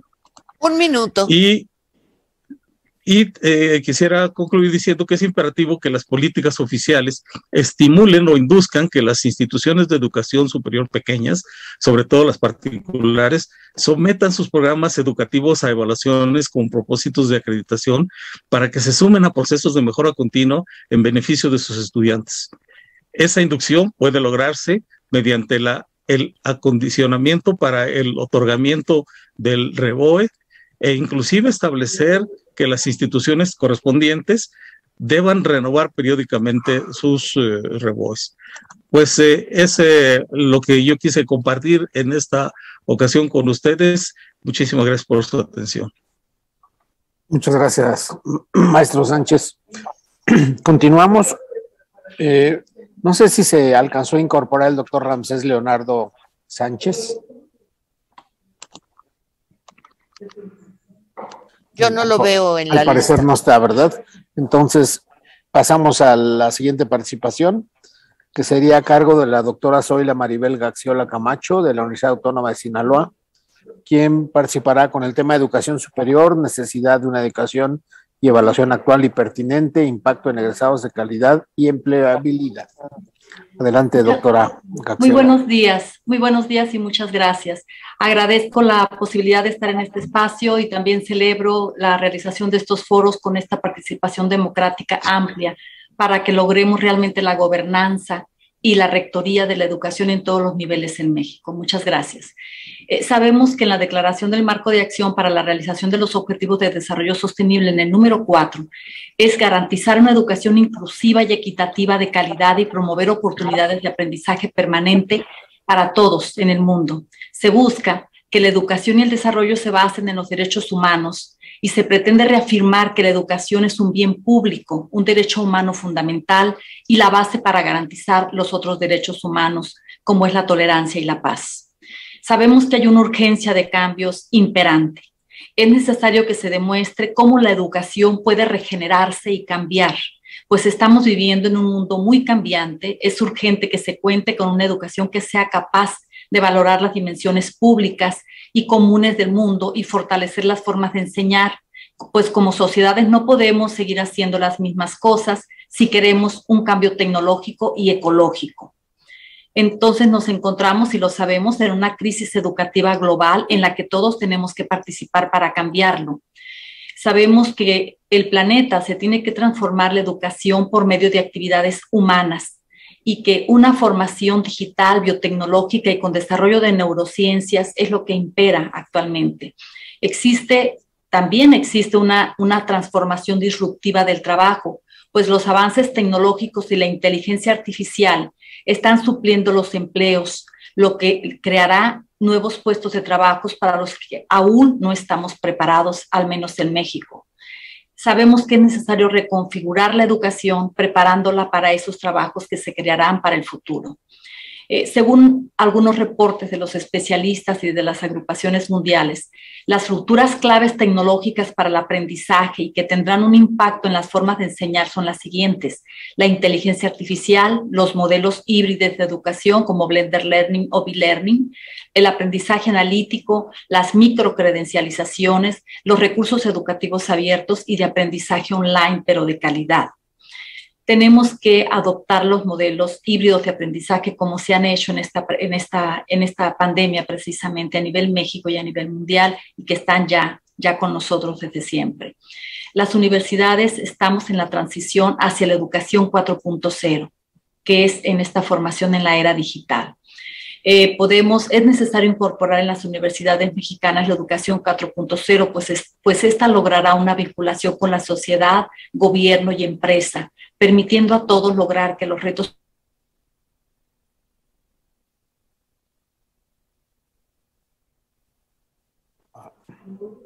Al parecer se pausó la, la presentación de la doctora Rexola, o soy yo nada más.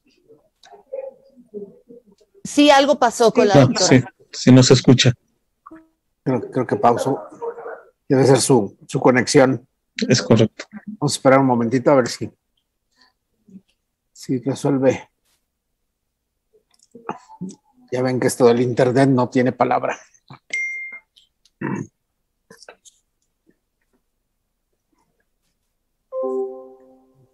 ya, la, ya la sacó el sistema. Vamos muy bien a tiempo, están todos cooperando de manera fantástica. Entonces, eh, vamos a esperar un minutito a ver si se reincorpora. Si no, inmediatamente después continuamos con el programa. ¿Ya está? ¿Debe estar ya en la sala? A ver. Es la doctora Maribel, ¿verdad? Eh, la, que estaba Adelante, doctora. Se, falló por ahí el sistema. Sí, gracias. Que en México ha habido la, tantos organismos pretendiendo una educación de manera adecuada eh, en el seguimiento de procesos y poder seguir este, posteriormente hacia sus planes de mejora. Actualmente en la materia de acreditación están en operación los CIES y, los COPA, y el COPAES, pero sin una política uniforme, definida e integral. Se debe definir ese organismo evaluador, como lo sabemos, con sus atribuciones muy definidas y aplicables tanto para las instituciones como para los propios programas académicos de cada universidad o para todos los procesos en los centros de investigación. Asimismo, sabemos que es necesario establecer este Sistema Nacional de Evaluación de la Educación Superior con una visión muy renovada de la calidad y de la evaluación que impulse la excelencia educativa y la mejora continua de todas las CIES.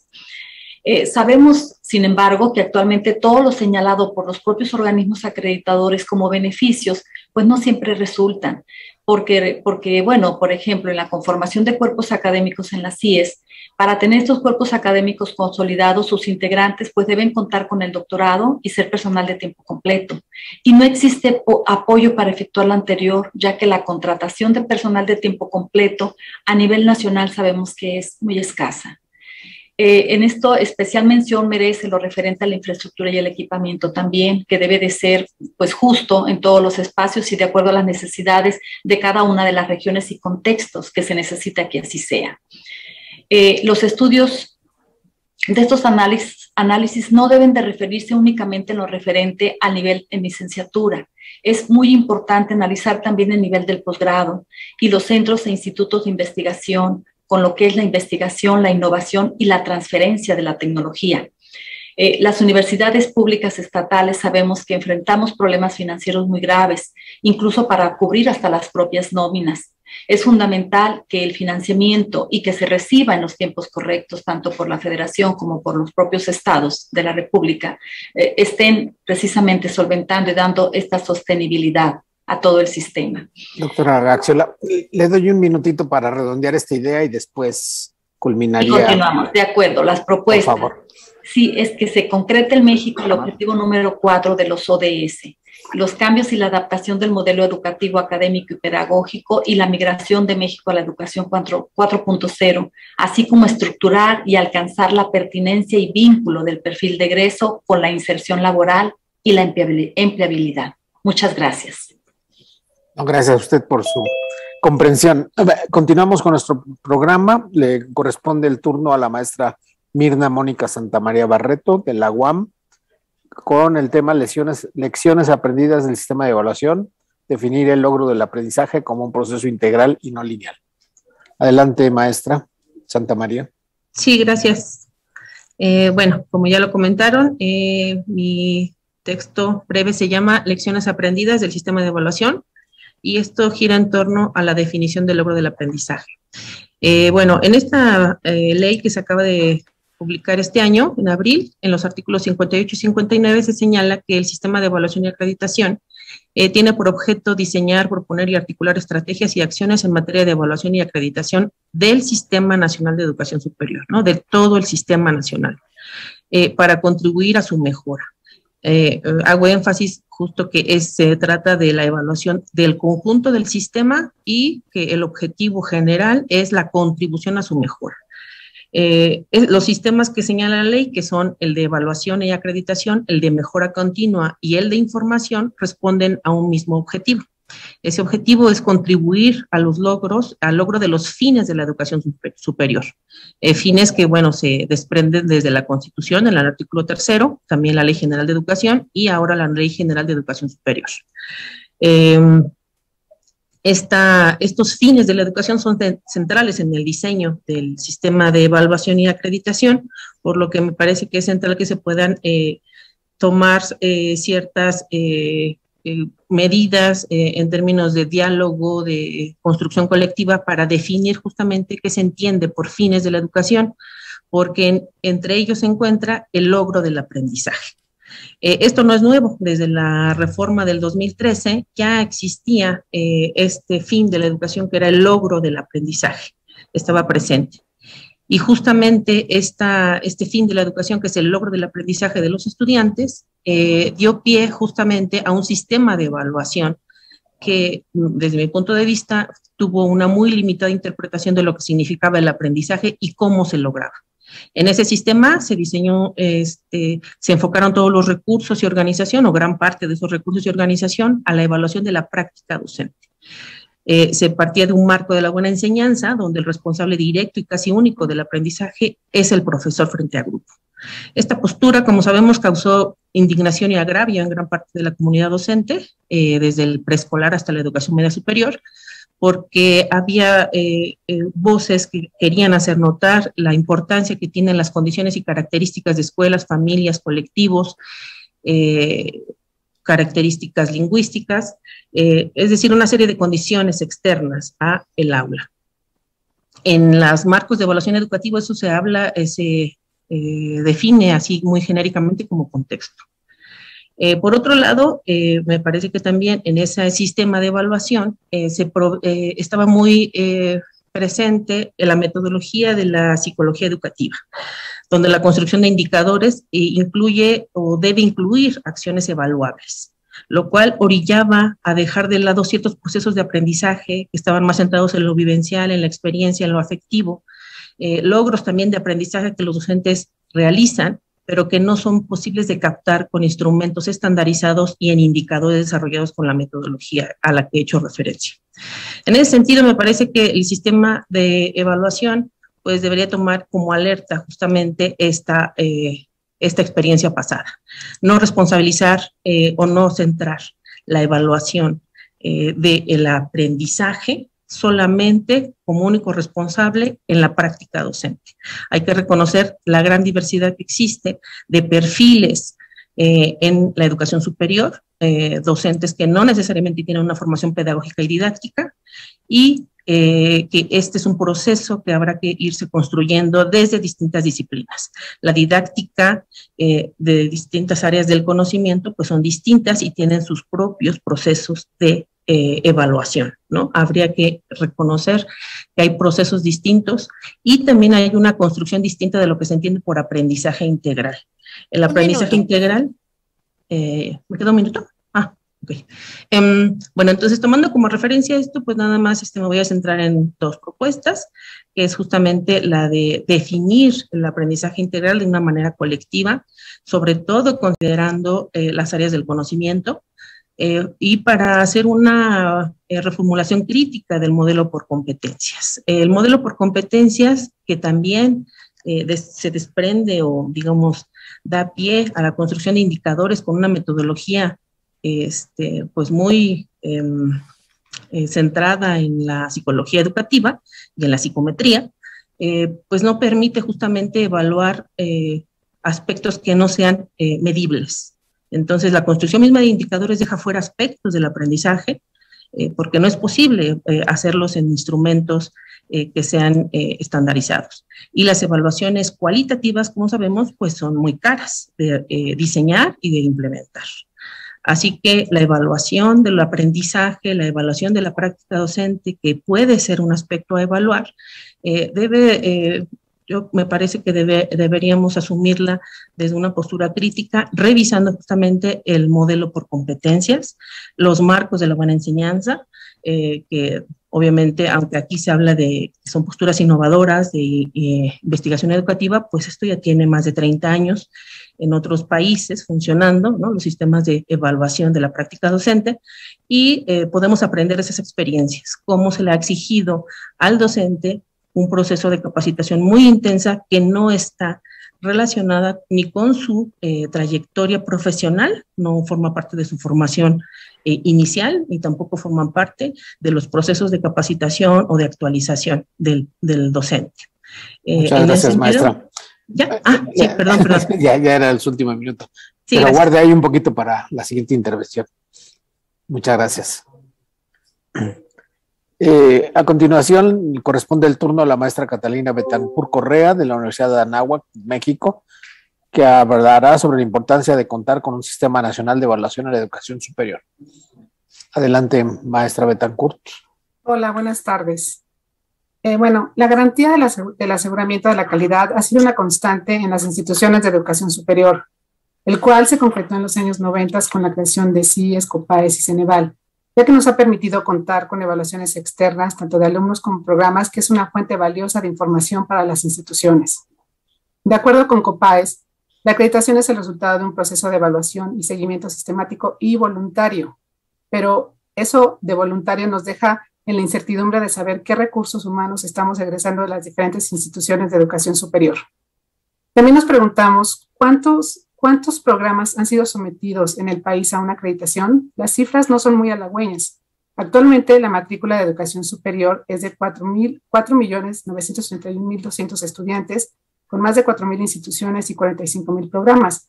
Pero a más de tres décadas de haber iniciado estos procesos de acreditación en las IES, únicamente o aproximadamente 11.000 programas han sido sometidos a un proceso de acreditación, es decir, el 24% de todos los programas del país, lo que nos lleva a una serie de reflexiones. La acreditación de los programas son necesarias y es importante generalizarlas para que se realicen en todas las instituciones de educación superior del país. Lo anterior, permitirá la mejora de la calidad de educación superior. La tarea de acreditar a todos los programas de las IES no es nada fácil, pero tampoco es imposible. Es mejor tener mecanismos que nos apoyen a conocer el estado de salud de nuestros programas a que mueran por una falta de diagnóstico oportuno. Y hay ejemplos destacados por mencionar, como lo hace el Council for High Education Accreditation CHIA en Estados Unidos, quien congrega 80 organismos de acreditación y se apoya en ellos para tener una numeraria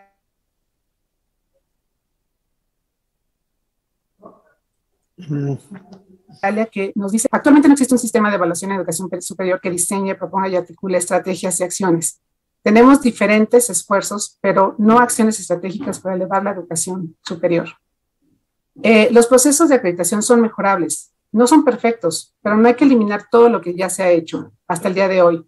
Las CIES utilizamos datos esenciales como son los resultados del EGEL o de las propias acreditaciones para la mejora continua, por lo que proponemos a los organismos de acreditación, las metodologías deben ser públicas, donde se pueda revisar su fundamentación teórica, las diferentes partes del proceso, bajo qué estándares o rúbricas se determina que un programa obtiene la acreditación o no, la renovación periódica de quienes dirigen estos organismos, pares académicos con un perfil profesional reconocido, sin prejuicios, capaces de emitir juicios de valor de manera objetiva, indicadores comunes con un margen libre para revisar cuestiones específicas de cada programa, una base a un padrón público con los programas de calidad, una revisión constante de sus marcos de referencia, contar con una plataforma para los autoestudios y las evidencias, comités o consejos acreditadores que sean plurales y participativos, un esquema de seguimiento de las recomendaciones a los programas, considerar los resultados del EGEL como un referente y en caso de no contar con un EGEL para cada una de las carreras,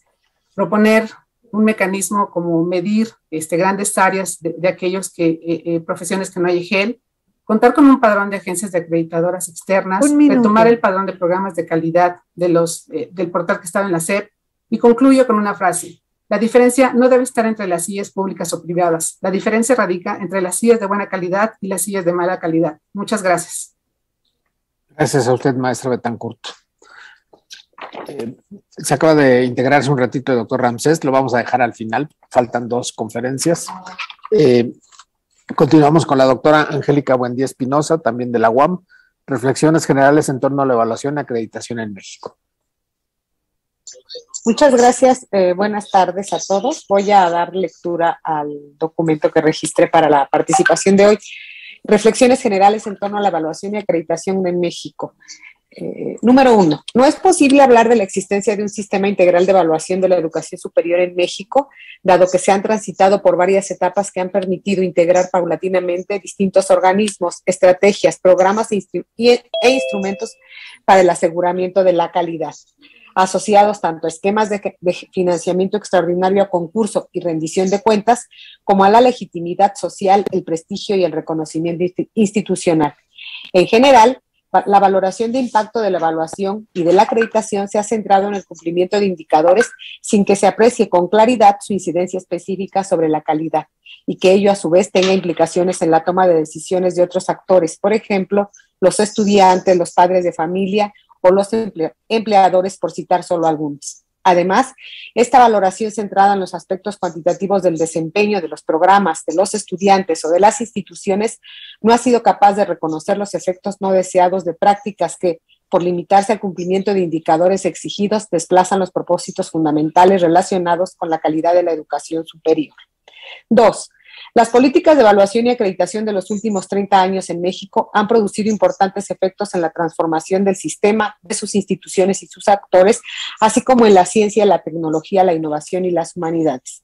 Es necesario reconocer que la evaluación y los esfuerzos orientados al aseguramiento de la calidad han incrementado la capacidad de conducción gubernamental, induciendo cambios institucionales y organizacionales que de otra manera difícilmente se hubieran presentado el eje articulador, ha descansado en la planeación estratégica institucional, referente que, por cierto, surge de un ámbito distinto a la gestión de las instituciones de educación superior y de las universidades. Y esto se ha, sido posible para que las instituciones evalúen su situación actual y asuman compromisos explícitos sobre su futuro desarrollo. Ello ha implicado un proceso de racionalización que ha permitido reducir en alguna medida en el sector público la discrecionalidad en el manejo institucional y se ha constituido como la base para la evaluación del desempeño.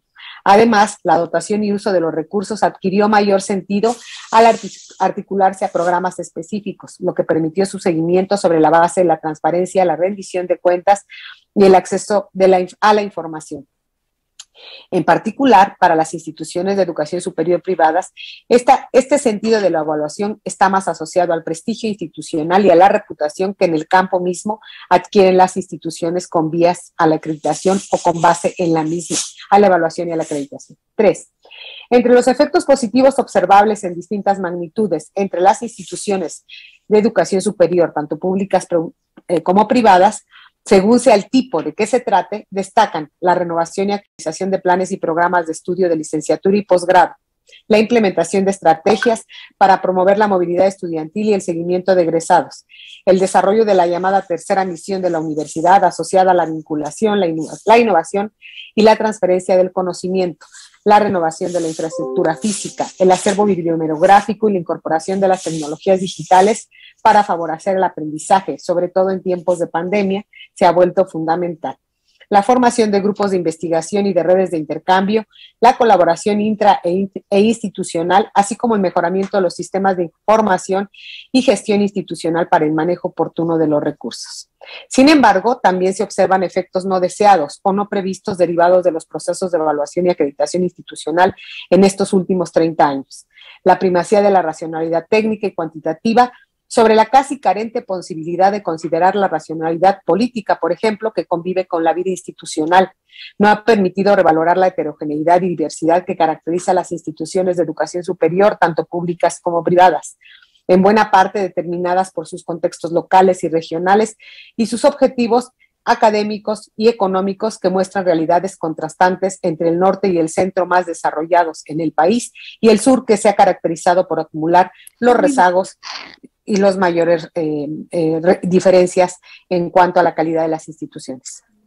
La preeminencia, para cerrar, la preeminencia de la racionalidad técnica ha propiciado comportamientos institucionales adversos que sin realizar esfuerzos reales de transformación institucional se preocupan esencialmente por cumplir con indicadores exigidos en los distintos programas de aseguramiento de la calidad, con la intención primordial de obtener recursos adicionales o bajo una lógica credencialista, la estrella que les permite hacer un uso racional de la mercadotecnia por la vía de posicionamiento en el mercado educativo. Estamos frente a la simulación institucional a veces y a la falta de legitimidad en otros procesos otras. Este tipo de actitudes, prácticas y comportamientos distorsionan el objetivo primordial de mejorar la calidad de la educación superior y sobreponen el cumplimiento formal de criterios e indicadores a los procesos educativos reales que ocurren en los escenarios y en las aulas de instituciones de educación superior con distintos recursos y en distintos contextos. Es quizá el momento para discutir la racionalidad técnica y política de los procesos de, evaluación y acreditación a fin de revalorar sus fundamentos, naturaleza y modalidades. Es decir, cuestionarnos en qué medida los criterios e indicadores... Ha terminado su tiempo. Ok, constituyen el instrumental administrativo para promover la transformación. Muchas gracias. Al contrario, muchas gracias a ustedes. Nuestra siguiente presentación es de la maestra Eduarda Luz Elena Reyes Calderón del Centro de Actualización del Magisterio en Yucatán, que platicará la inclusión en el proceso de evaluación y acreditación. Adelante, maestra Reyes. Muy buenas tardes a todas y a todos. Primero que nada, mi agradecimiento y respeto y un saludo a las autoridades que nos dieron la oportunidad de participar en este foro. Hablemos de inclusión. Eh, en este foro se ha hablado mucho sobre diferentes procesos de evaluación y acreditación. Y esto nos habla de conforme a los lineamientos que establece la Ley General de Educación Superior en cuanto al proceso de evaluación y acreditación, es importante considerar la diversidad que existe en todos los sentidos. Es así como en cumplimiento de los indicadores del perfil de egreso de los estudiantes contemplados en los programas de estudio, para alcanzar las metas establecidas conforme a un proceso de mejora continua encaminada a una formación integral de calidad y excelencia educativa, una verdadera transformación requiere de estrategias en las cuales el fomento y el desarrollo de la investigación, garantizando la equidad y justicia, con ética y transparencia en todas sus acciones, a través del fortalecimiento de los principios y valores con los cuales se ha de conducir los seres humanos, aplicando un enfoque humanista, sobre todo en respuesta a las necesidades actuales de compromiso y responsabilidad social. En cuanto a la inclusión se refiere, es necesario implementar estrategias para atender las necesidades de la población que asiste a las instituciones de educación superior y que en ocasiones abandona sus estudios por falta de recursos económicos, como también de acceso a la educación, hablando de las comunidades apartadas de las ciudades en las cuales existen seres humanos con deseos de superación, pero que de alguna manera personal o profesionalmente no lo pueden hacer por sus condiciones y no les es accesible ingreso a universidades y se pierde la oportunidad de mejorar su calidad de vida y un futuro profesionista que podría haber aportado mucho en la transformación del país. La interculturalidad en las instituciones de educación superior es de enorme importancia, por lo que es necesario el crear ambientes de aprendizaje en donde se brinden las oportunidades a todos los integrantes para la aceptación de propuestas, proyectos, participación en un marco y un clima organizacional de estabilidad emocional y psicológica.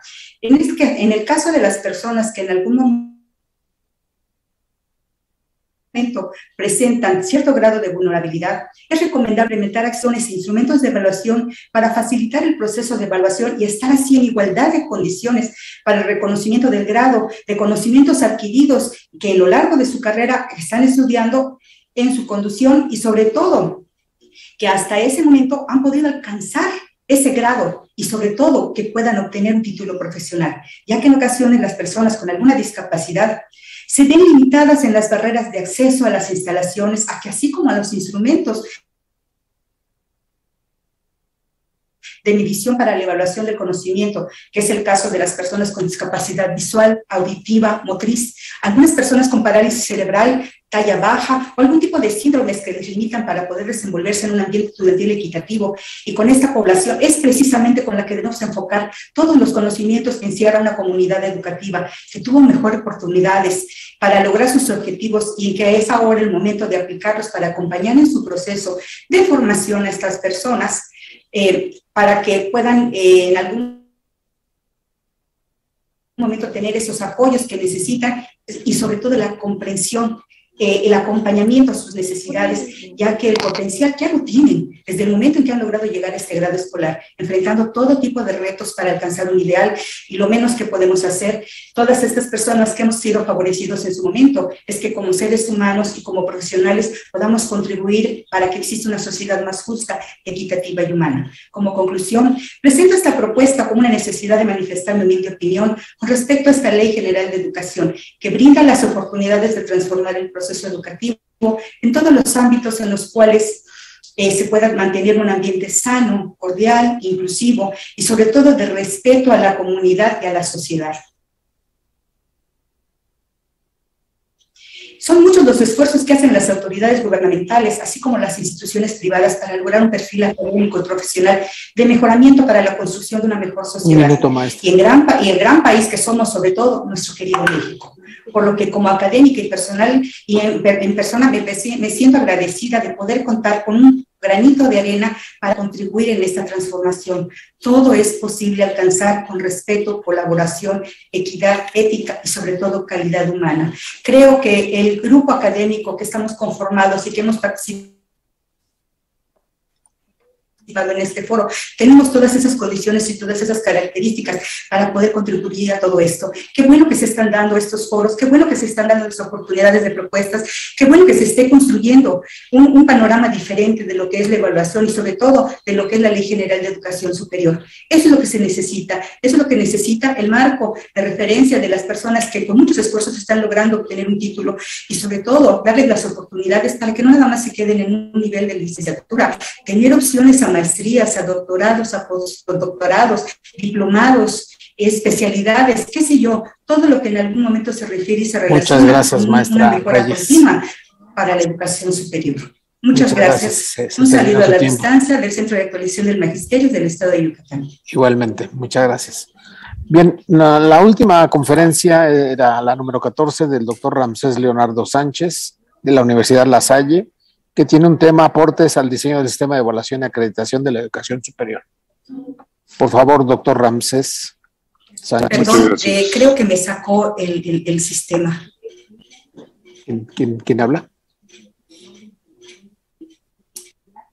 Muchas gracias. Eh, ¿Se escucha? Sí, sí, muy bien. Adelante, doctor. Muy bien. Históricamente, los problemas inherentes a la implementación de un sistema, ya sea económico, cultural, político o social, impelen a la dificultad de lograr la Perdón, ¿me escuchan? Creo que me sacó el sistema. ¿Quién, habla, perdón? Es la, es la maestra Reyes. Ahora sí ya la sacó. Sí, es, Muy bien. No, no, sé quién está hablando, pero, pero por favor, doctor, vamos a apagar los demás micrófonos para que pueda hacer su intervención. Adelante. Muchas gracias. Tiene, cinco minutos. ¿A quién, está hablando? No sé. ¿No la puede silenciar? Creo que se. Ah, ahí está. Ahora sí. Ya está, muy bien. Sí, le, nada más recordarle que tiene cinco minutos, por favor. Perfecto. Históricamente, los problemas inherentes a la implementación de un sistema, ya sea económico, cultural, político o social, impelen a la dificultad de lograr la interacción entre lo general y lo particular. Esta situación ya fue desde su inicio un problema eh, inherente a las matemáticas pitagóricas y lo siguen siendo para todo aquel que pretenda formular un cambio o una transformación en el que se involucran elementos concretos. El problema es mayor cuando estos elementos involucran comportamientos sociales. Desde mi punto de vista, los más importantes avances en lo tocante a la interacción entre las objetividades formales y las individualidades o singularidades involucradas en ellas han tomado una vía intermedia donde los actores directos deben tomar la palabra. Esto hace absolutamente necesario un mejor esquema de comunicación de los fines y objetivos del sistema que se intenta implementar. La evaluación y la acreditación de la educación superior no solo responde a un mejoramiento cualitativo, que no esté supeditado a trámites burocráticos o irreflexivos, y que sea capaz de incrementar la calidad de las IES, sino que en la misión, la visión y los objetivos de las universidades y de los programas académicos están involucrados diversos modos de vinculación del conocimiento con los asuntos públicos y políticos. De modo que éstas deben atender inicialmente la manera en la que cada una de ellas justifica su papel en el país, como centro de pensamiento e impacto social, y mostrar cómo está realmente comprometida para afianzar derechos y mejorar la calidad de vida de la sociedad. De modo que la relación entre lo formal y lo concreto, o si utilizamos un lenguaje que hoy es común, lo cuantitativo como evaluación y acreditación en tanto que sistema integral, y lo cualitativo como investigación en el terreno o atención a acciones parciales, debe ser pensada desde los efectos sociales que el imaginario de las IES han logrado afectar y desde los compromisos que éstas llevan a cabo como agente de cambio en la sociedad. Una forma de reconfigurar la función de las IES en nuestro tiempo sugiere una mirada sistémica, interdisciplinaria, basada en métodos cruzados, adaptables a la situación actual,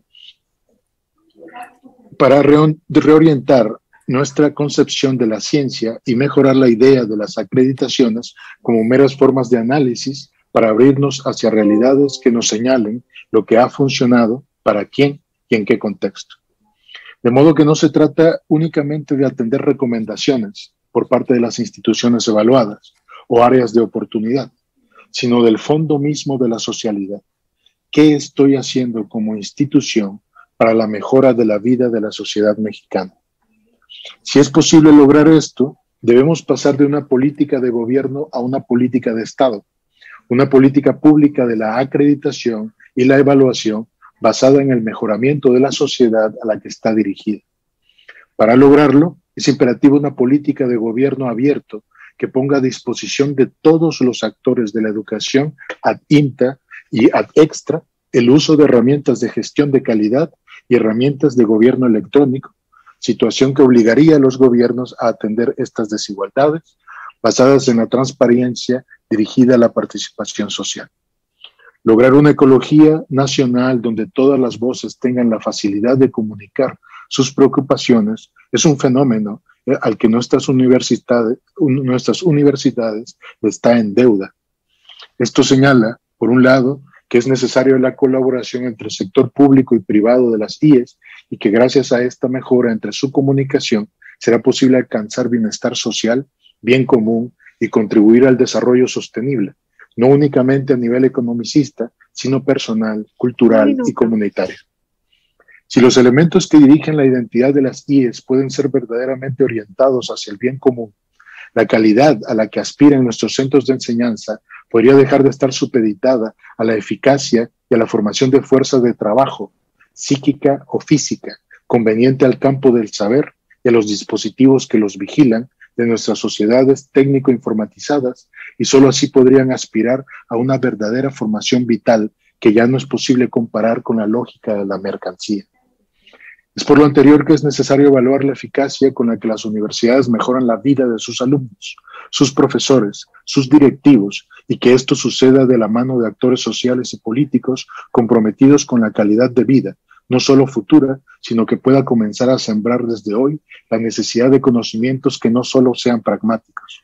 Acreditar esta situación es ya preparar un mejor futuro que, después de esta terrible pandemia, después de tantos sufrimientos que hemos llevado sobre nosotros, por el hecho de que no atendimos jamás la posibilidad de vivir estas desgracias, aún podemos sospechar que lo que está por venir no, no es solo oscuridad o ingenua esperanza.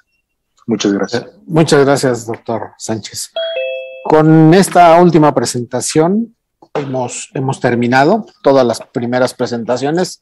Agradezco a ustedes su colaboración por haberse ceñido al, escaso tiempo que nos damos, pero ven que hay una cantidad impresionante de excelentes aportaciones. No envidio a mis colaboradores que están haciendo la, la relatoría, tienen mucha tela de dónde cortar.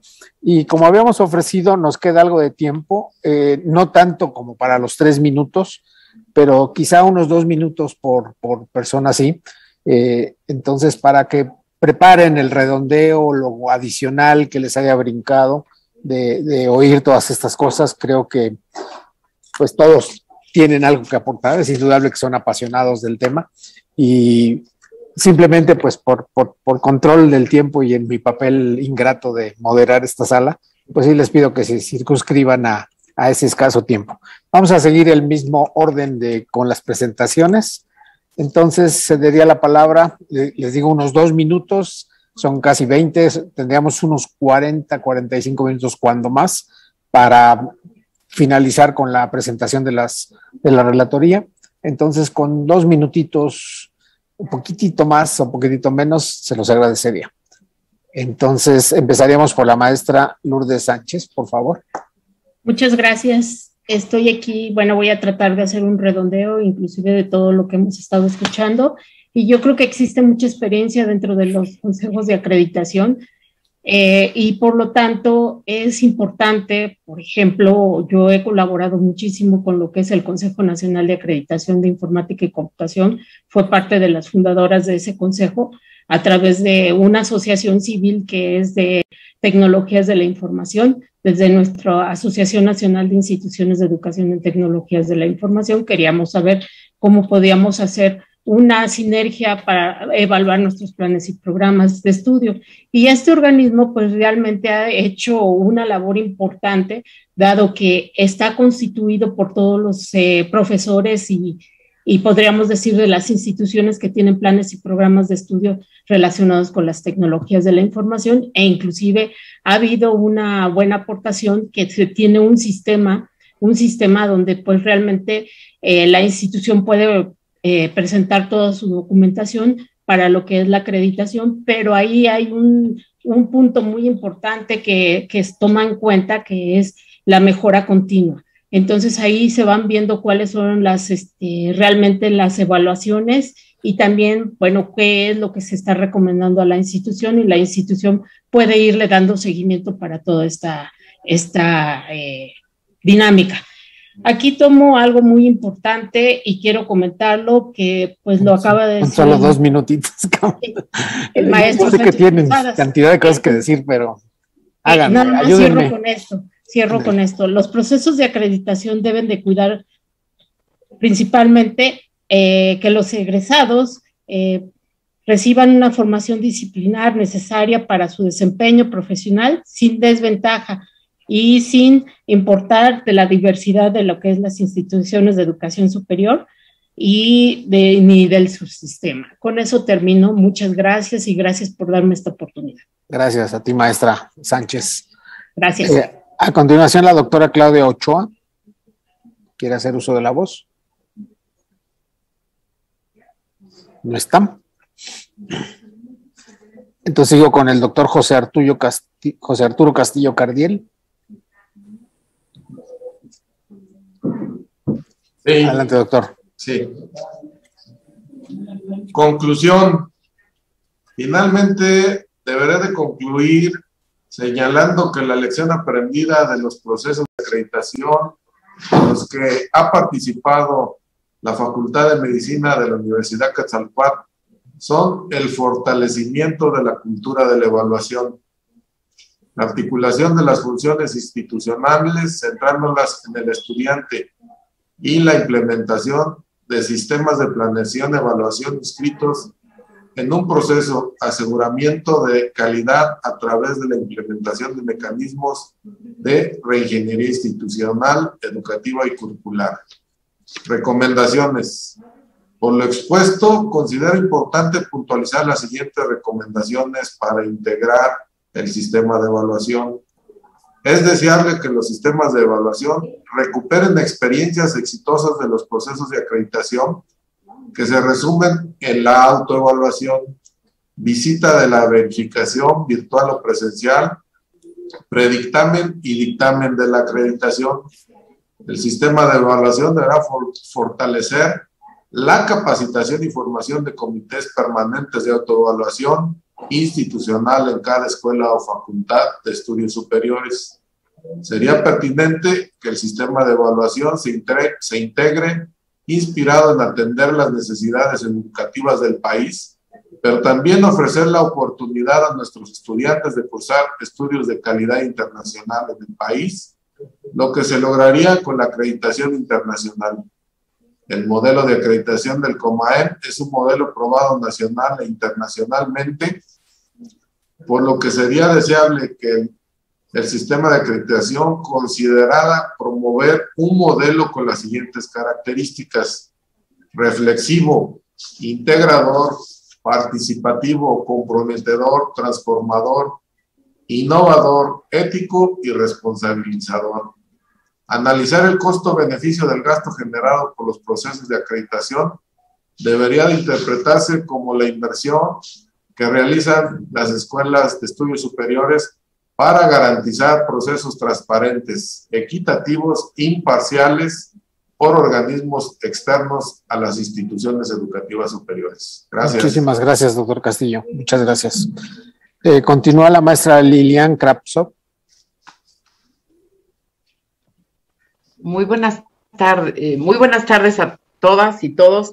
Yo agradezco muchísimo, creo que hay mucha, eh, escuché mucha, mucha empatía y, mucha sinergia en las ideas de este grupo.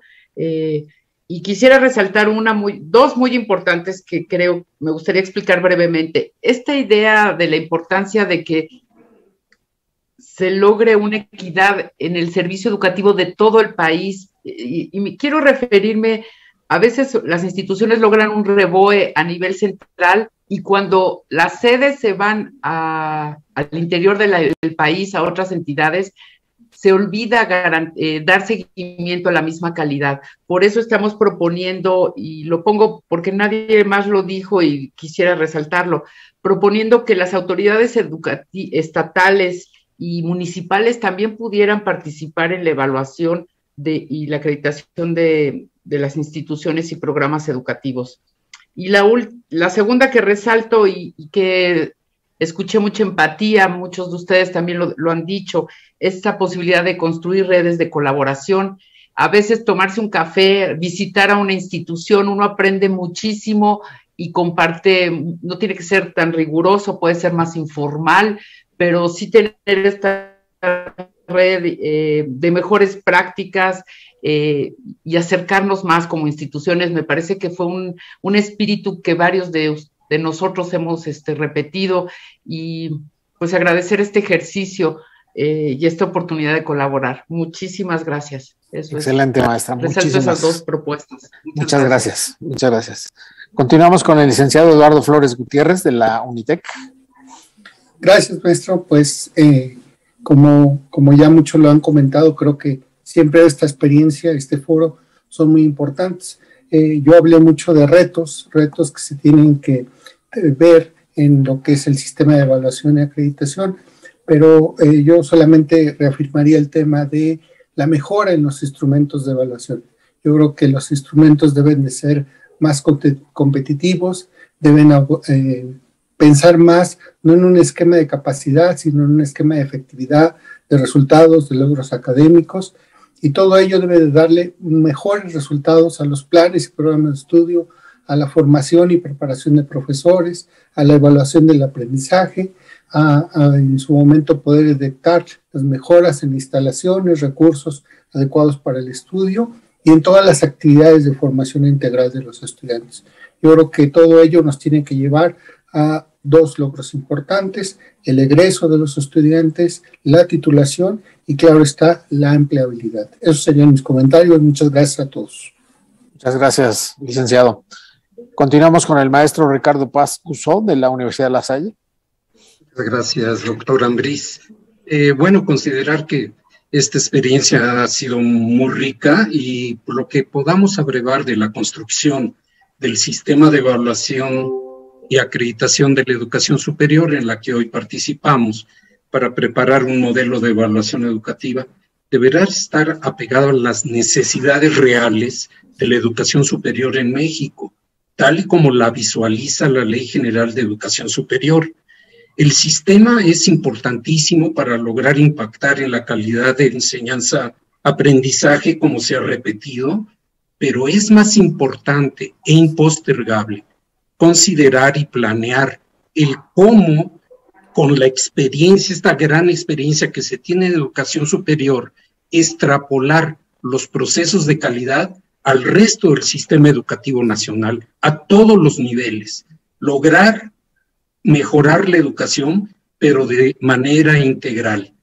Y que como resultado los alumnos, docentes e instituciones estén mejor preparados, tengan mejor oportunidades, eh, eh, no solamente educativas, sino de vida, y estemos habituados con objetividad a estos procesos de mejora continua. No hacerlo así, creo yo, eh, no quiero ser pesimista, al considerar que la Ley General de Educación Superior se fundamenta, vuelvo a repetir, en el derecho humano universal, pero también el que el Estado esté garantizando el acceso, permanencia y disfrute de la educación superior, pues llevaría a la ley de quedar en un compendio de buenas intenciones. Pero hoy este foro ha demostrado, hemos demostrado, que tenemos capacidad, tenemos voluntad de lograr. Muchas gracias, colegas, a todos eh, y con la Universidad Autónoma Metropolitana. Saludos. Gracias a usted, maestro Paz. Le tocaré el turno a la doctora Marisol Silva de la Universidad Iberoamericana.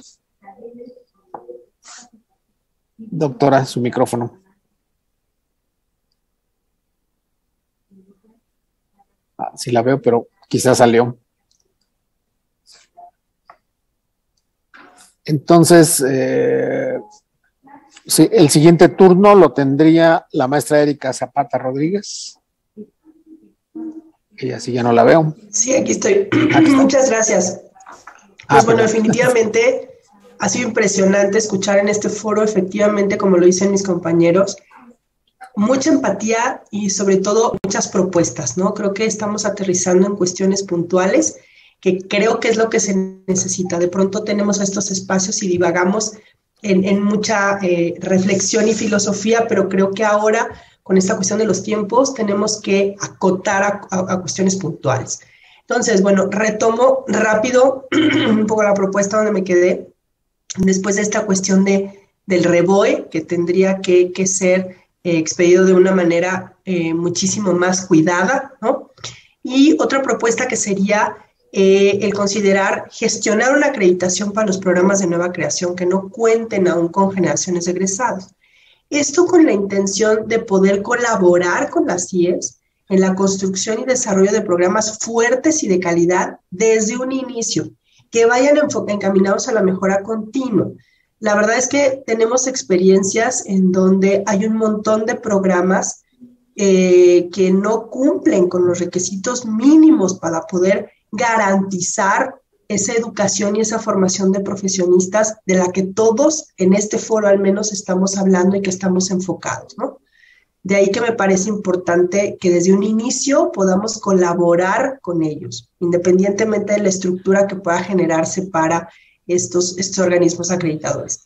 Y algo que me parece bien importante destacar y que surge aquí de, este, de este foro, y es esta inquietud y esta necesidad de que la acreditación y esta evaluación vaya realmente encaminada al proceso y no solamente que se, o sea, que sea la acreditación y se corte hasta el siguiente periodo.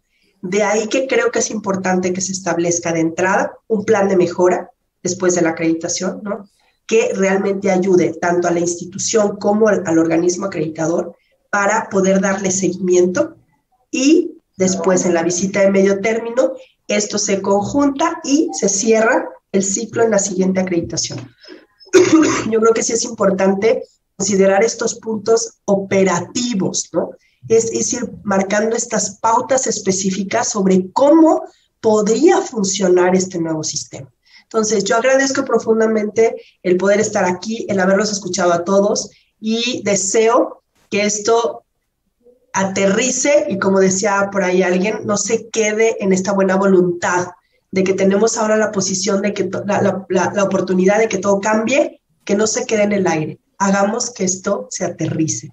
Muchas gracias y buena tarde. Gracias a usted.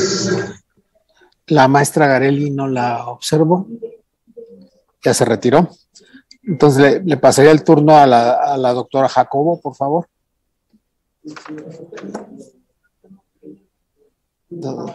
Doctora Sardel Jacobo. Sí, la observo, pero no. Sí, disculpe, estaba con problemas de iniciar el micrófono y la, y la cámara. no se preocupe, adelante, por favor. Gracias. Bueno, daré paso a la propuesta que me faltó y que daré. Eh, daré paso a su lectura que implica tres puntos fundamentales. Uno, garantizar la participación de las personas con discapacidad y extenderlo a la participación de otras expresiones de grupos vulnerados y de la sociedad civil en el desarrollo e implementación de una política cultural de educación inclusiva para honrar el lema de nada sobre nosotros y nosotros. Dos, implementar foros que favorezcan un programa que fundamente la reforma educativa y que apunte hacia una política cultural, educativa, inclusiva y más allá de ella y articule a la IES en un compromiso para realmente impactar la realidad y su transformación. Tres, fortalecer la conformación de una red nacional de universidades que lleven adelante la transformación de la educación superior hacia una cultura de educación inclusiva y más allá de ella. Esta propuesta deriva y se apuntala desde uno, una política pública decidida y expresada por el doctor Luciano Conchero, subsecretario de Educación Superior de la SEP, en su propuesta a la reforma de dicha ley, y que en esta apertura de este foro amplió, ratificó y volvió a comprometerse. Dos, la articulación de saberes emergentes de orden filosófico y ético así como las prácticas culturales emergentes. Ambas demandan su articulación en un rehacer el mundo de significabilidad educativa que incorpore a las personas con discapacidad y, diversos grupos vulnerados eh, y que convoquemos juntos todos a la ley universal de la naturaleza de la que hablaba Kant, que en palabras de Nancy y Levinas se culmina a hacer o rehacer un mundo desde una ética de responsabilidad con y para los otros, desde el posicionamiento plural, diverso y heterogéneo de las formas de ser humanos y estar en un mundo para todos. Muchas gracias. Perdón, gracias, doctora Jacobo. Continuamos con el, doctor, con el doctor José Luis Morán López. También quedó por ahí algo pendiente. Sí, muchas gracias. Muy amable. Bueno, este, en, mi participación anterior mencionaba yo este, la creación de un organismo autónomo, este, no gubernamental, eh, denominado Consejo de Evaluación y Acreditación de Educación Superior. Eh, mencionaba yo que este, este consejo debería regular el sistema y daría autorización Solo aquellas organizaciones especializadas que contaran con las capacidades, la infraestructura, procedimientos, marcos de evaluación, un código de ética y altos estándares para el rigor académico requerido, así como esquemas eficientes para la transparencia y la rendición de cuentas, entre otros aspectos. Bueno, ese eh, este, consejo contaría para su operación con una junta integrada, esta es nuestra propuesta, por 11 miembros con experiencia en educación superior y evaluación, uno eh, de los cuales fungirá como su presidente.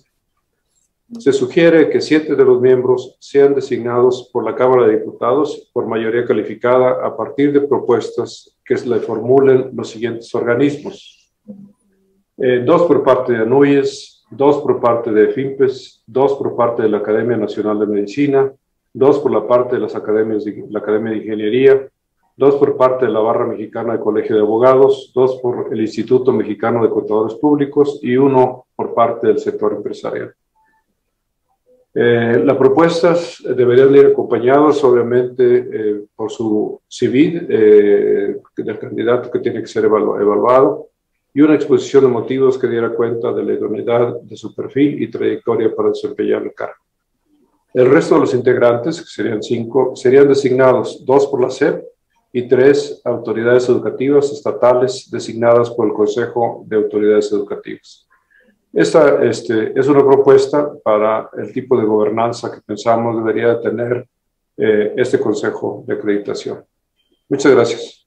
Gracias a usted, doctor.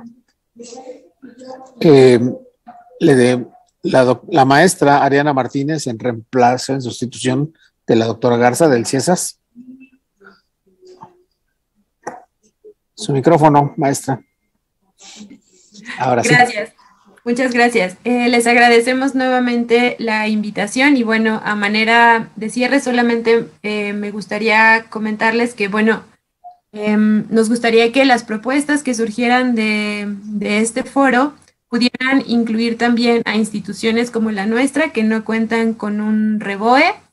Y bueno, adicionalmente, eh, el CIESA se suma justamente a la implementación de una evaluación que tome en cuenta la formación académica de los estudiantes y que esta vaya de la mano con las necesidades que, y bueno, que también se tomen muy en cuenta las necesidades de ofrecer eh, programas de posgrado de calidad y excelencia sin que necesariamente se caiga en indicadores que dejen de fuera em, la cuestión eh, de formación académica y que poco ayuden a, contribuir a formar recursos humanos. Y bueno, ya todo. Muchísimas gracias. Gracias, maestra Martínez. toca al maestro Héctor Fernando Sánchez Posadas, por favor. Sí, muchas gracias. Y quisiera referirme a em, insistir en que es importantísimo plantear antes de su diseño del sistema de evaluación y de acreditación, plantear muy claramente los objetivos y propósitos, porque he escuchado no solo ahora en esta, en esta parte de los foros, sino en otras ocasiones, eh, serios cuestionamientos sobre el éxito o fracaso del sistema actual de evaluación eh, para la acreditación. Y es que con, base en qué decimos que ha fracasado o que ha tenido éxito. Si no sabíamos hacia dónde queríamos ir de manera conjunta. Ahora tenemos la oportunidad de definirlo para establecer ese, ese sistema eh, y que quede muy claro, porque solamente así podríamos saber si estamos avanzando o no. Porque pues se, es muy riguroso al valorar los avances del sistema actual, pero el sistema que tenemos ahora no, no ha estado siempre, o sea, no son 30 años en los que hemos estado así. Este sistema nació hace 30 años desde cero, 90 años después que en otros países donde fueron pioneros en, estos sistemas. Y los logros que hemos tenido, los vemos ahora, aquí estamos discutiendo, platicando, poniéndonos de acuerdo sobre cómo seguir adelante en esta parte de la evaluación y la acreditación. ¿sí? Entonces, eh, yo creo que hemos ganado mucho, pero podemos avanzar mucho más si estamos de acuerdo y todos vamos de manera consciente hacia, hacia el mismo objetivo y propósito. Por eso mi insistencia. Ya, quisiera más, eh, para terminar, mencionar que cuando iniciamos era inconcebible la evaluación externa en las instituciones de educación superior mexicanas, sobre todo las autónomas estatales. Y ahora la cultura de la evaluación y la acreditación, pues aquí la vemos. Entonces habla de que son muy poquitos programas. Pues sí, son muy poquitos programas los que han, han sido acreditados. Pero, pues al inicio nadie, nadie levantaba la mano para ser acreditado. Ahora tenemos una buena, eh, un buen número de, de, instituciones que lo están haciendo. Entonces, creo que podemos avanzar mucho, estamos en muy buen momento, en muy buena posición, y bueno, pues quería yo hacer esas observaciones. Muchas gracias. Excelente, maestro Sánchez. Eh, le damos la palabra al doctor Ramsés Sánchez también, por favor. Su micrófono. Sí, ¿qué tal? Bien, yo solo haría algunos, algunas indicaciones respecto de eh, un verdadero estudio, creo que es previamente necesario a la necesidad de implementar un sistema que corre el riesgo de llevar a cabo una homogenización en la formación en general. ¿Sí? Y lo digo fundamentalmente porque eh, con frecuencia las los organismos acreditadores, los organismos evaluadores, parecerían haber olvidado eh, muchos elementos que están eh, justamente en el nacimiento de la propia educación, no la nuestra, sino la educación que nos ha educado eh, milenariamente, y tiene que ver con el concepto de formación, tiene que ver con la cuestión de, la educación como una experiencia que no es susceptible de ser homogeneizada, globalizada, muchísimo menos tecnificada.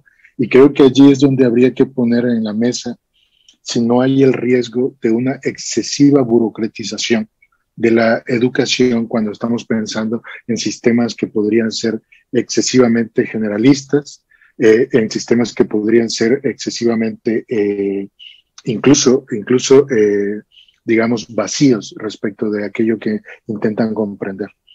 Yo creo que es necesaria una integración del papel social que tienen las instituciones que quieren ser evaluadas y acreditadas y los cumplimientos efectivos de sus objetivos.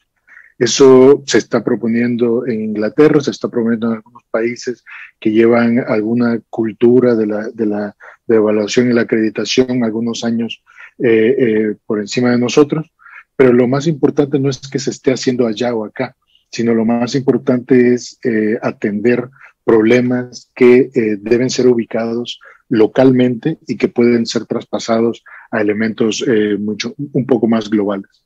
Yo empezaría por las singularidades, como se ha dicho hace un momento, y creo que estas singularidades tienen que ver con no olvidar que el concepto de formación tiene que ver con la experiencia concreta del sujeto, ya sea educador o educando, y esto tendría que tener la primera palabra cuando queremos realmente saber cómo están funcionando tanto nuestra misión, nuestra visión, nuestros objetivos como institución o nuestros programas de estudios a nivel, a nivel cultural y a nivel general, ¿no? Yo creo que son elementos que no hay que olvidar, creo que hay que atenderlos y estoy seguro que, eh, estoy absolutamente convencido como investigador eh, del Servicio Nacional de Investigación que tenemos una deuda pendiente con el impacto social de nuestras instituciones y esos elementos habría que integrarlos también en la, en la constitución de este sistema general. Muchas gracias, les agradezco, es un honor estar eh, al lado y opinando frente a tantas eh, personas tan ilustres en México y les agradezco mucho su invitación.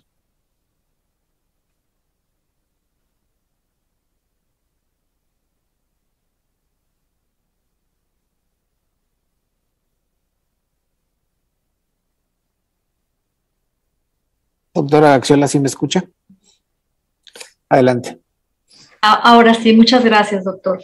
Pues bien, siguiendo lo que nuestros compañeros han estado comentando, realmente fue un gusto el poder, poder compartir este espacio y, y, escuchando estas, todos estos comentarios y todas las propuestas que estamos haciendo, es fundamental que sigamos pensando realmente qué producto tenemos de nuestra educación superior porque mm, son, entre más valor agregado parece ser, de acuerdo a lo que la evaluación de la educación en México es, eh, se tenga en ese egresado, parece ser que el, que se inserte en realmente resolver una problemática, tener ese empleo y, recalco esa, esa posibilidad de que cualquier egresado lo deba de tener, eh, parece ser que se redujera en México. Entonces, tenemos que pensar mucho en ese objetivo, en esa posibilidad de vincular los sectores con los que estamos hacia lo que vamos y cómo realmente ese objetivo de la formación del profesional, del profesionista, la estamos logrando. Entonces yo creo que con el trabajo de todos muy consciente, como lo estamos nosotros manifestando, este, eso, eso puede ser y que realmente la rectoría de todo este quehacer a través de los organismos nacionales que tienen mucho, mucha experiencia sobre eso y de todos nosotros, se pueda lograr y precisamente respetando esa autonomía de la que en la operación se tiene que dar y respetando la autonomía que de las propias instituciones tienen para ese quehacer.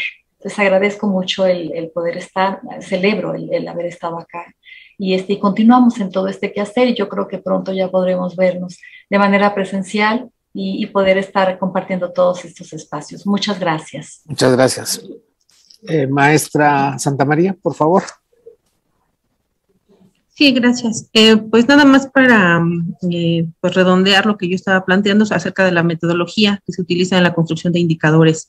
Eh, efectivamente, los fines de la educación, definía el aprendizaje, a veces parte de marcos muy aspiracionales, efectivamente con grandes expectativas, ¿no? Con inclusión, diversidad, perspectiva de género, ¿no? Unas grandes este, aspiraciones que tiene el aprendizaje. Pero al momento que eso se traduce en indicadores, en instrumentos, entonces se vuelve casi inasible.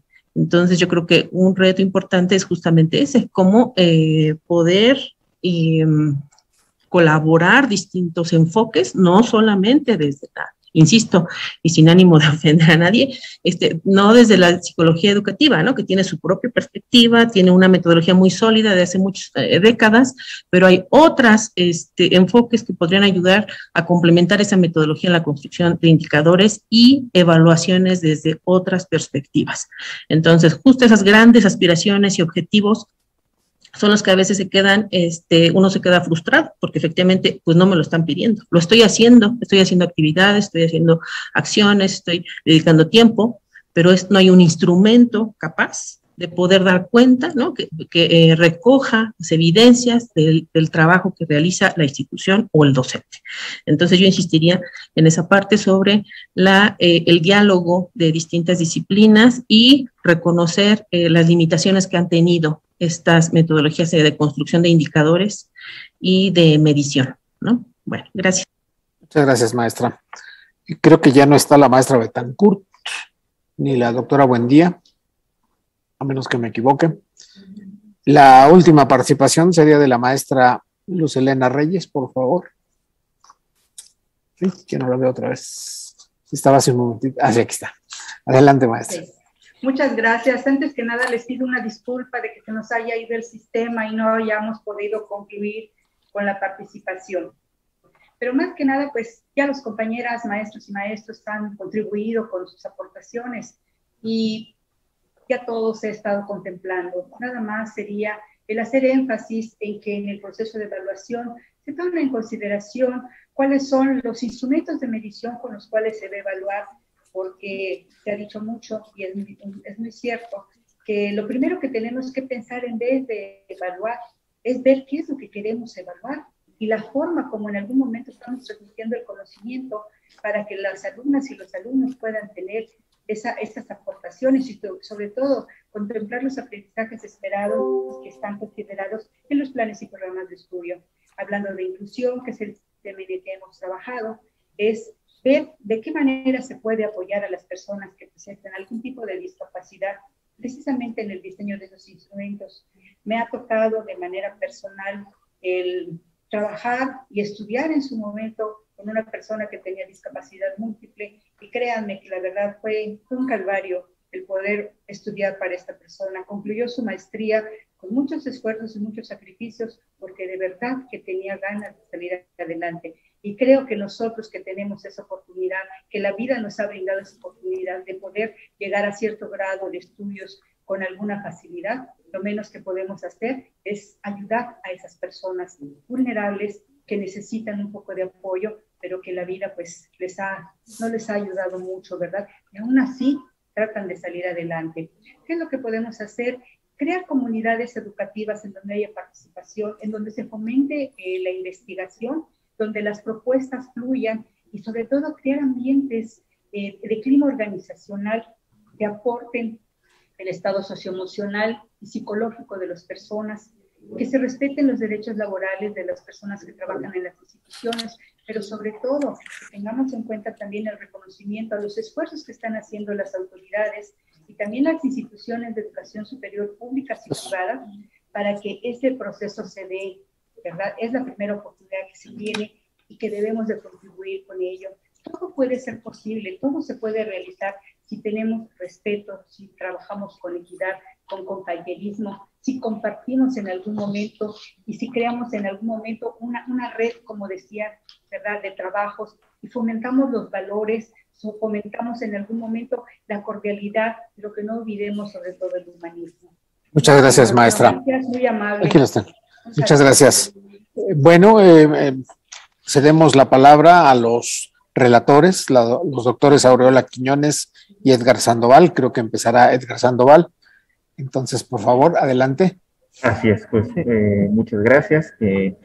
pues el, ejercicio que hicimos de relatoría, más que plantear quién dijo qué cosa, es, un ejercicio de, que busca integrar, porque hubo muchas coincidencias, como ya se señaló aquí, en los planteamientos, entonces más bien vamos a hacer como un planteamiento integral de las ideas que se expusieron acá. Eh, recordar primero que el objetivo del foro, eh, de estos foros regionales, es eh, promover y facilitar la más amplia participación de las autoridades y comunidades de las instituciones de educación superior públicas y particulares del país en el diseño del sistema de evaluación y acreditación de la educación superior. Y bueno, en ese sentido, en esta sesión se expusieron dos grandes temáticas, una que tiene que ver con el análisis del modelo y las políticas de evaluación y acreditación de la educación superior, y otra con los retos para la evaluación derivados del contexto nacional e internacional de la educación superior la primera de estas temáticas yo lo voy a exponer a, manera del diagnóstico que quedó planteado en esta sesión y después la doctora Aureola nos platicará sobre lo que comentó en este grupo respecto de los retos. Bueno, en las diferentes exposiciones de esta sala se puntualizaron algunos aspectos sobre la situación que guarda la evaluación y acreditación de la educación superior en México. Por un lado, se identificaron eh, fortalezas, y en este tema existen algunas coincidencias entre los participantes respecto de que las iniciativas emprendidas en esta materia han sentado las bases de una cultura de la evaluación que se expresa en una motivación genuina de parte de las instituciones de educación superior por mejorar sus procesos y obtener reconocimientos por ello. Además, se señaló que estas políticas han promovido la sistematización de procesos, la puesta en marcha de modelos de gestión de la calidad y la adopción de estrategias de mejora continua. También se reconoció que en algunos momentos la información generada por estas prácticas ha servido de insumo para el diseño y puesta en operación de políticas en materia de educación superior.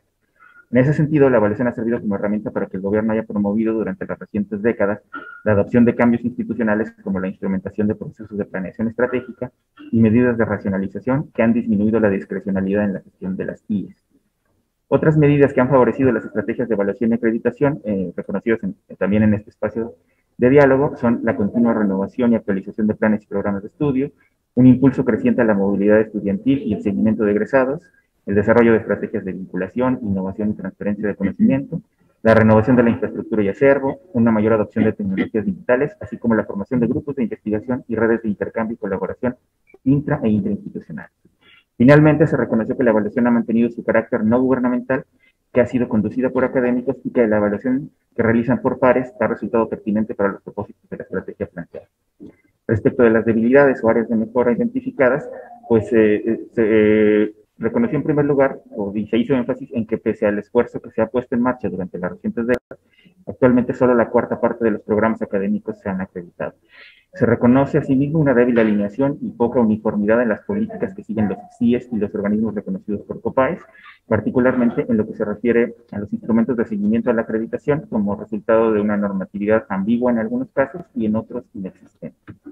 En esa misma línea se reconoce que no está clara la vinculación entre la evaluación y la acreditación, pues las CIES a veces optan por acreditarse en forma directa en otras ocasiones por realizar solamente la evaluación por pares a través de los CIES y en algunas más por transitar por ambas instancias. Por otro lado, también se destacó que los instrumentos de evaluación no se han actualizado recientemente, que los procesos de evaluación y acreditación se han vuelto muy burocráticos y estandarizados y que han mostrado pocos impactos, pues no reflejan el quehacer cotidiano de las instituciones, eh, que no incorporan dimensiones como la equidad de género, la interculturalidad, el reconocimiento de la diversidad y la inclusión, y finalmente y de manera reiterativa, se puntualizó que la evaluación se ha centrado en el cumplimiento de aspectos cuantitativos, en la medición que privilegia el logro educativo por sobre otras dimensiones relevantes y que las evaluaciones no consideran las particularidades institucionales y de los subsistemas. Todo esto, según se señaló en esta mesa, ha contribuido a que los esfuerzos de evaluación y acreditación se enfoquen en el cumplimiento de indicadores y conduzcan, en algunos casos, al menos a la simulación. Dos elementos críticos adicionales fueron señalados en las intervenciones. En primer lugar, que los procesos de acreditación se han vuelto muy costosos y en segundo, que el Estado ha jugado un papel más bien lejano en la supervisión y conducción de estos esfuerzos.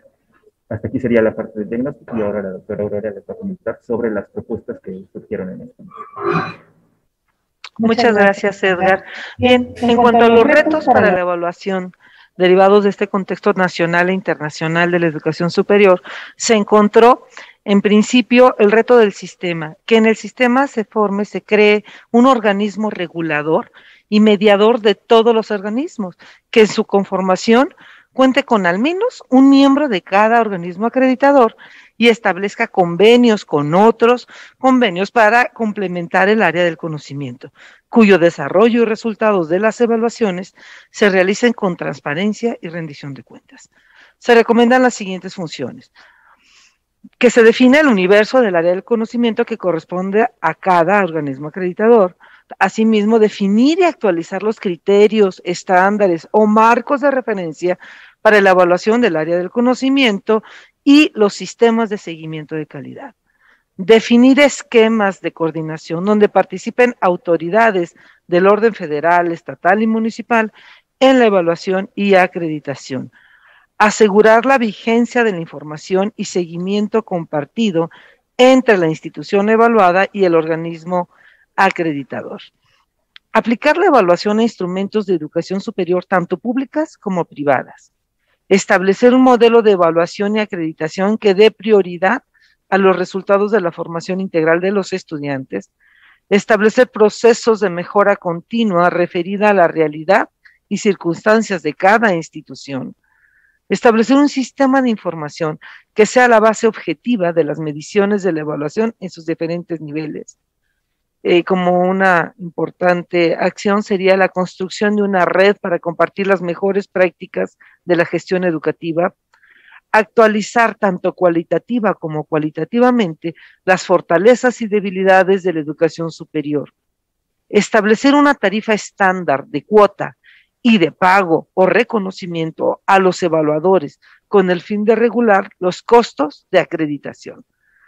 Y con ello, hacer un análisis también del costo-beneficio del gasto generado por los procesos de acreditación, fortalecer la cultura de la evaluación enfocada a la comprensión de los fenómenos complejos, impulsando la participación de la comunidad educativa en diferentes niveles y momentos, dar seguimiento a la atención de la eh, académica.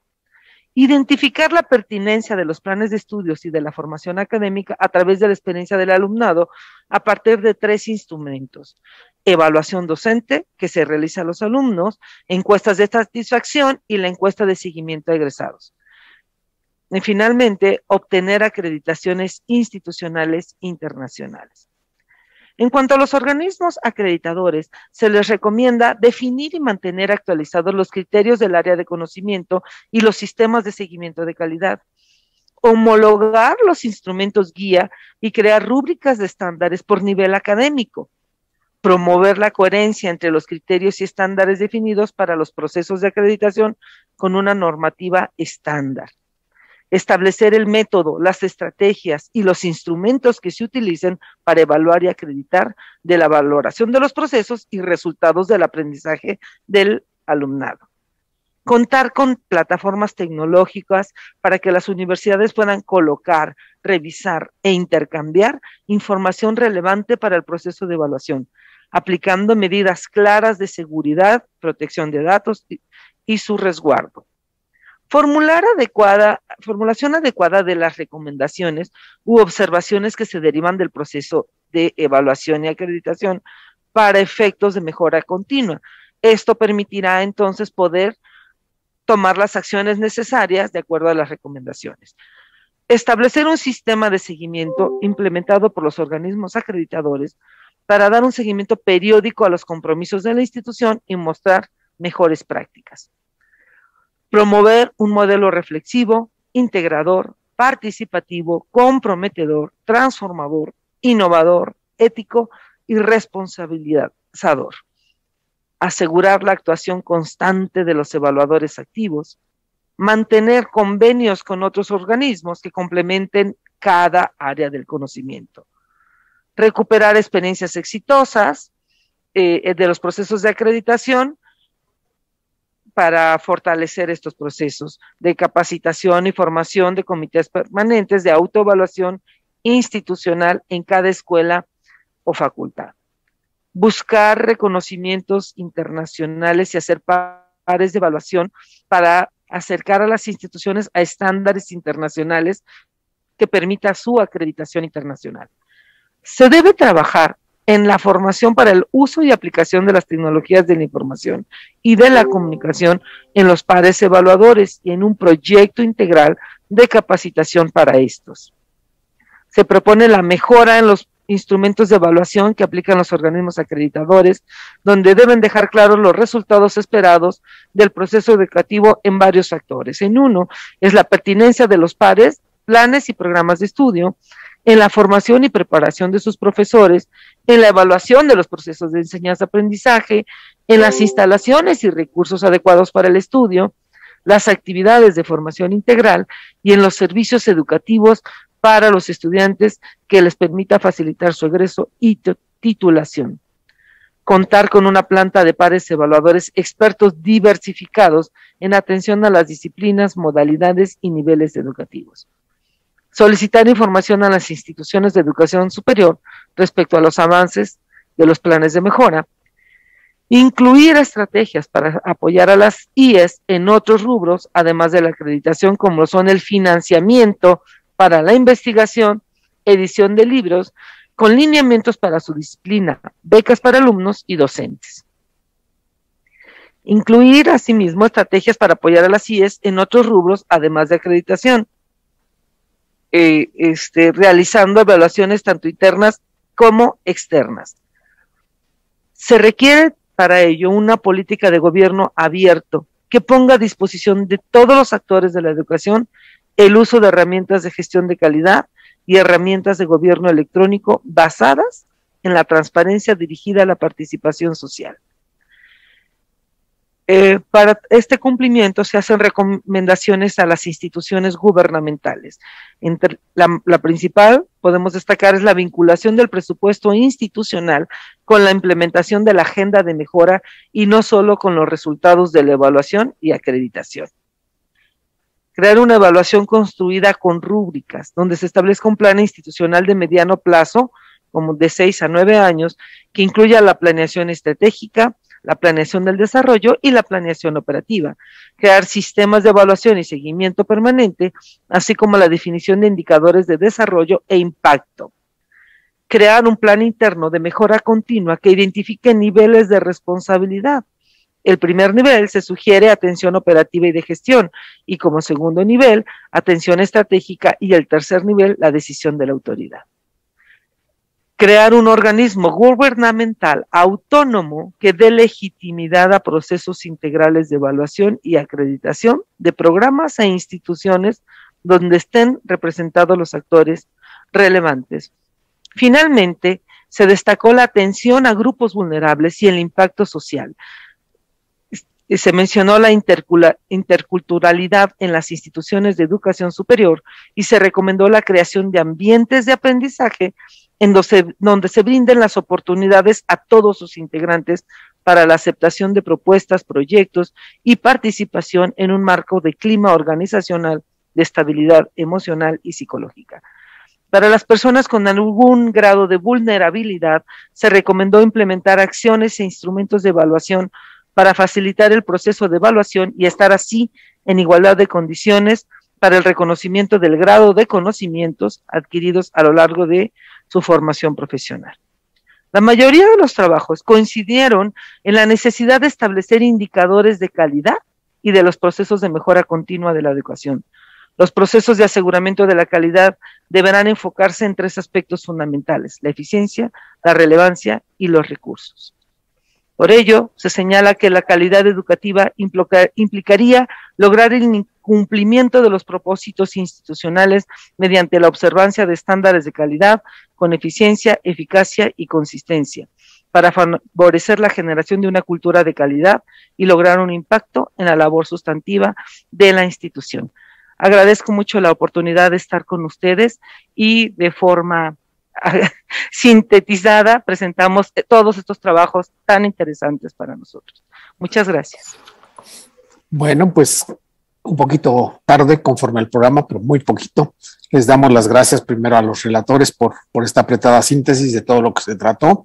Eh, a nombre de los moderadores, relatores, agradecemos al equipo organizador de este foro y en especial de esta sala 2 y sobre todo a todos ustedes que con sus aportaciones orales, escritas, están enriqueciendo este enorme esfuerzo. Muchas gracias por su participación. Estamos seguros que ayudará a definir este esquema que se está construyendo. Con esto damos por terminada esta sesión y muchas gracias. Buenas tardes.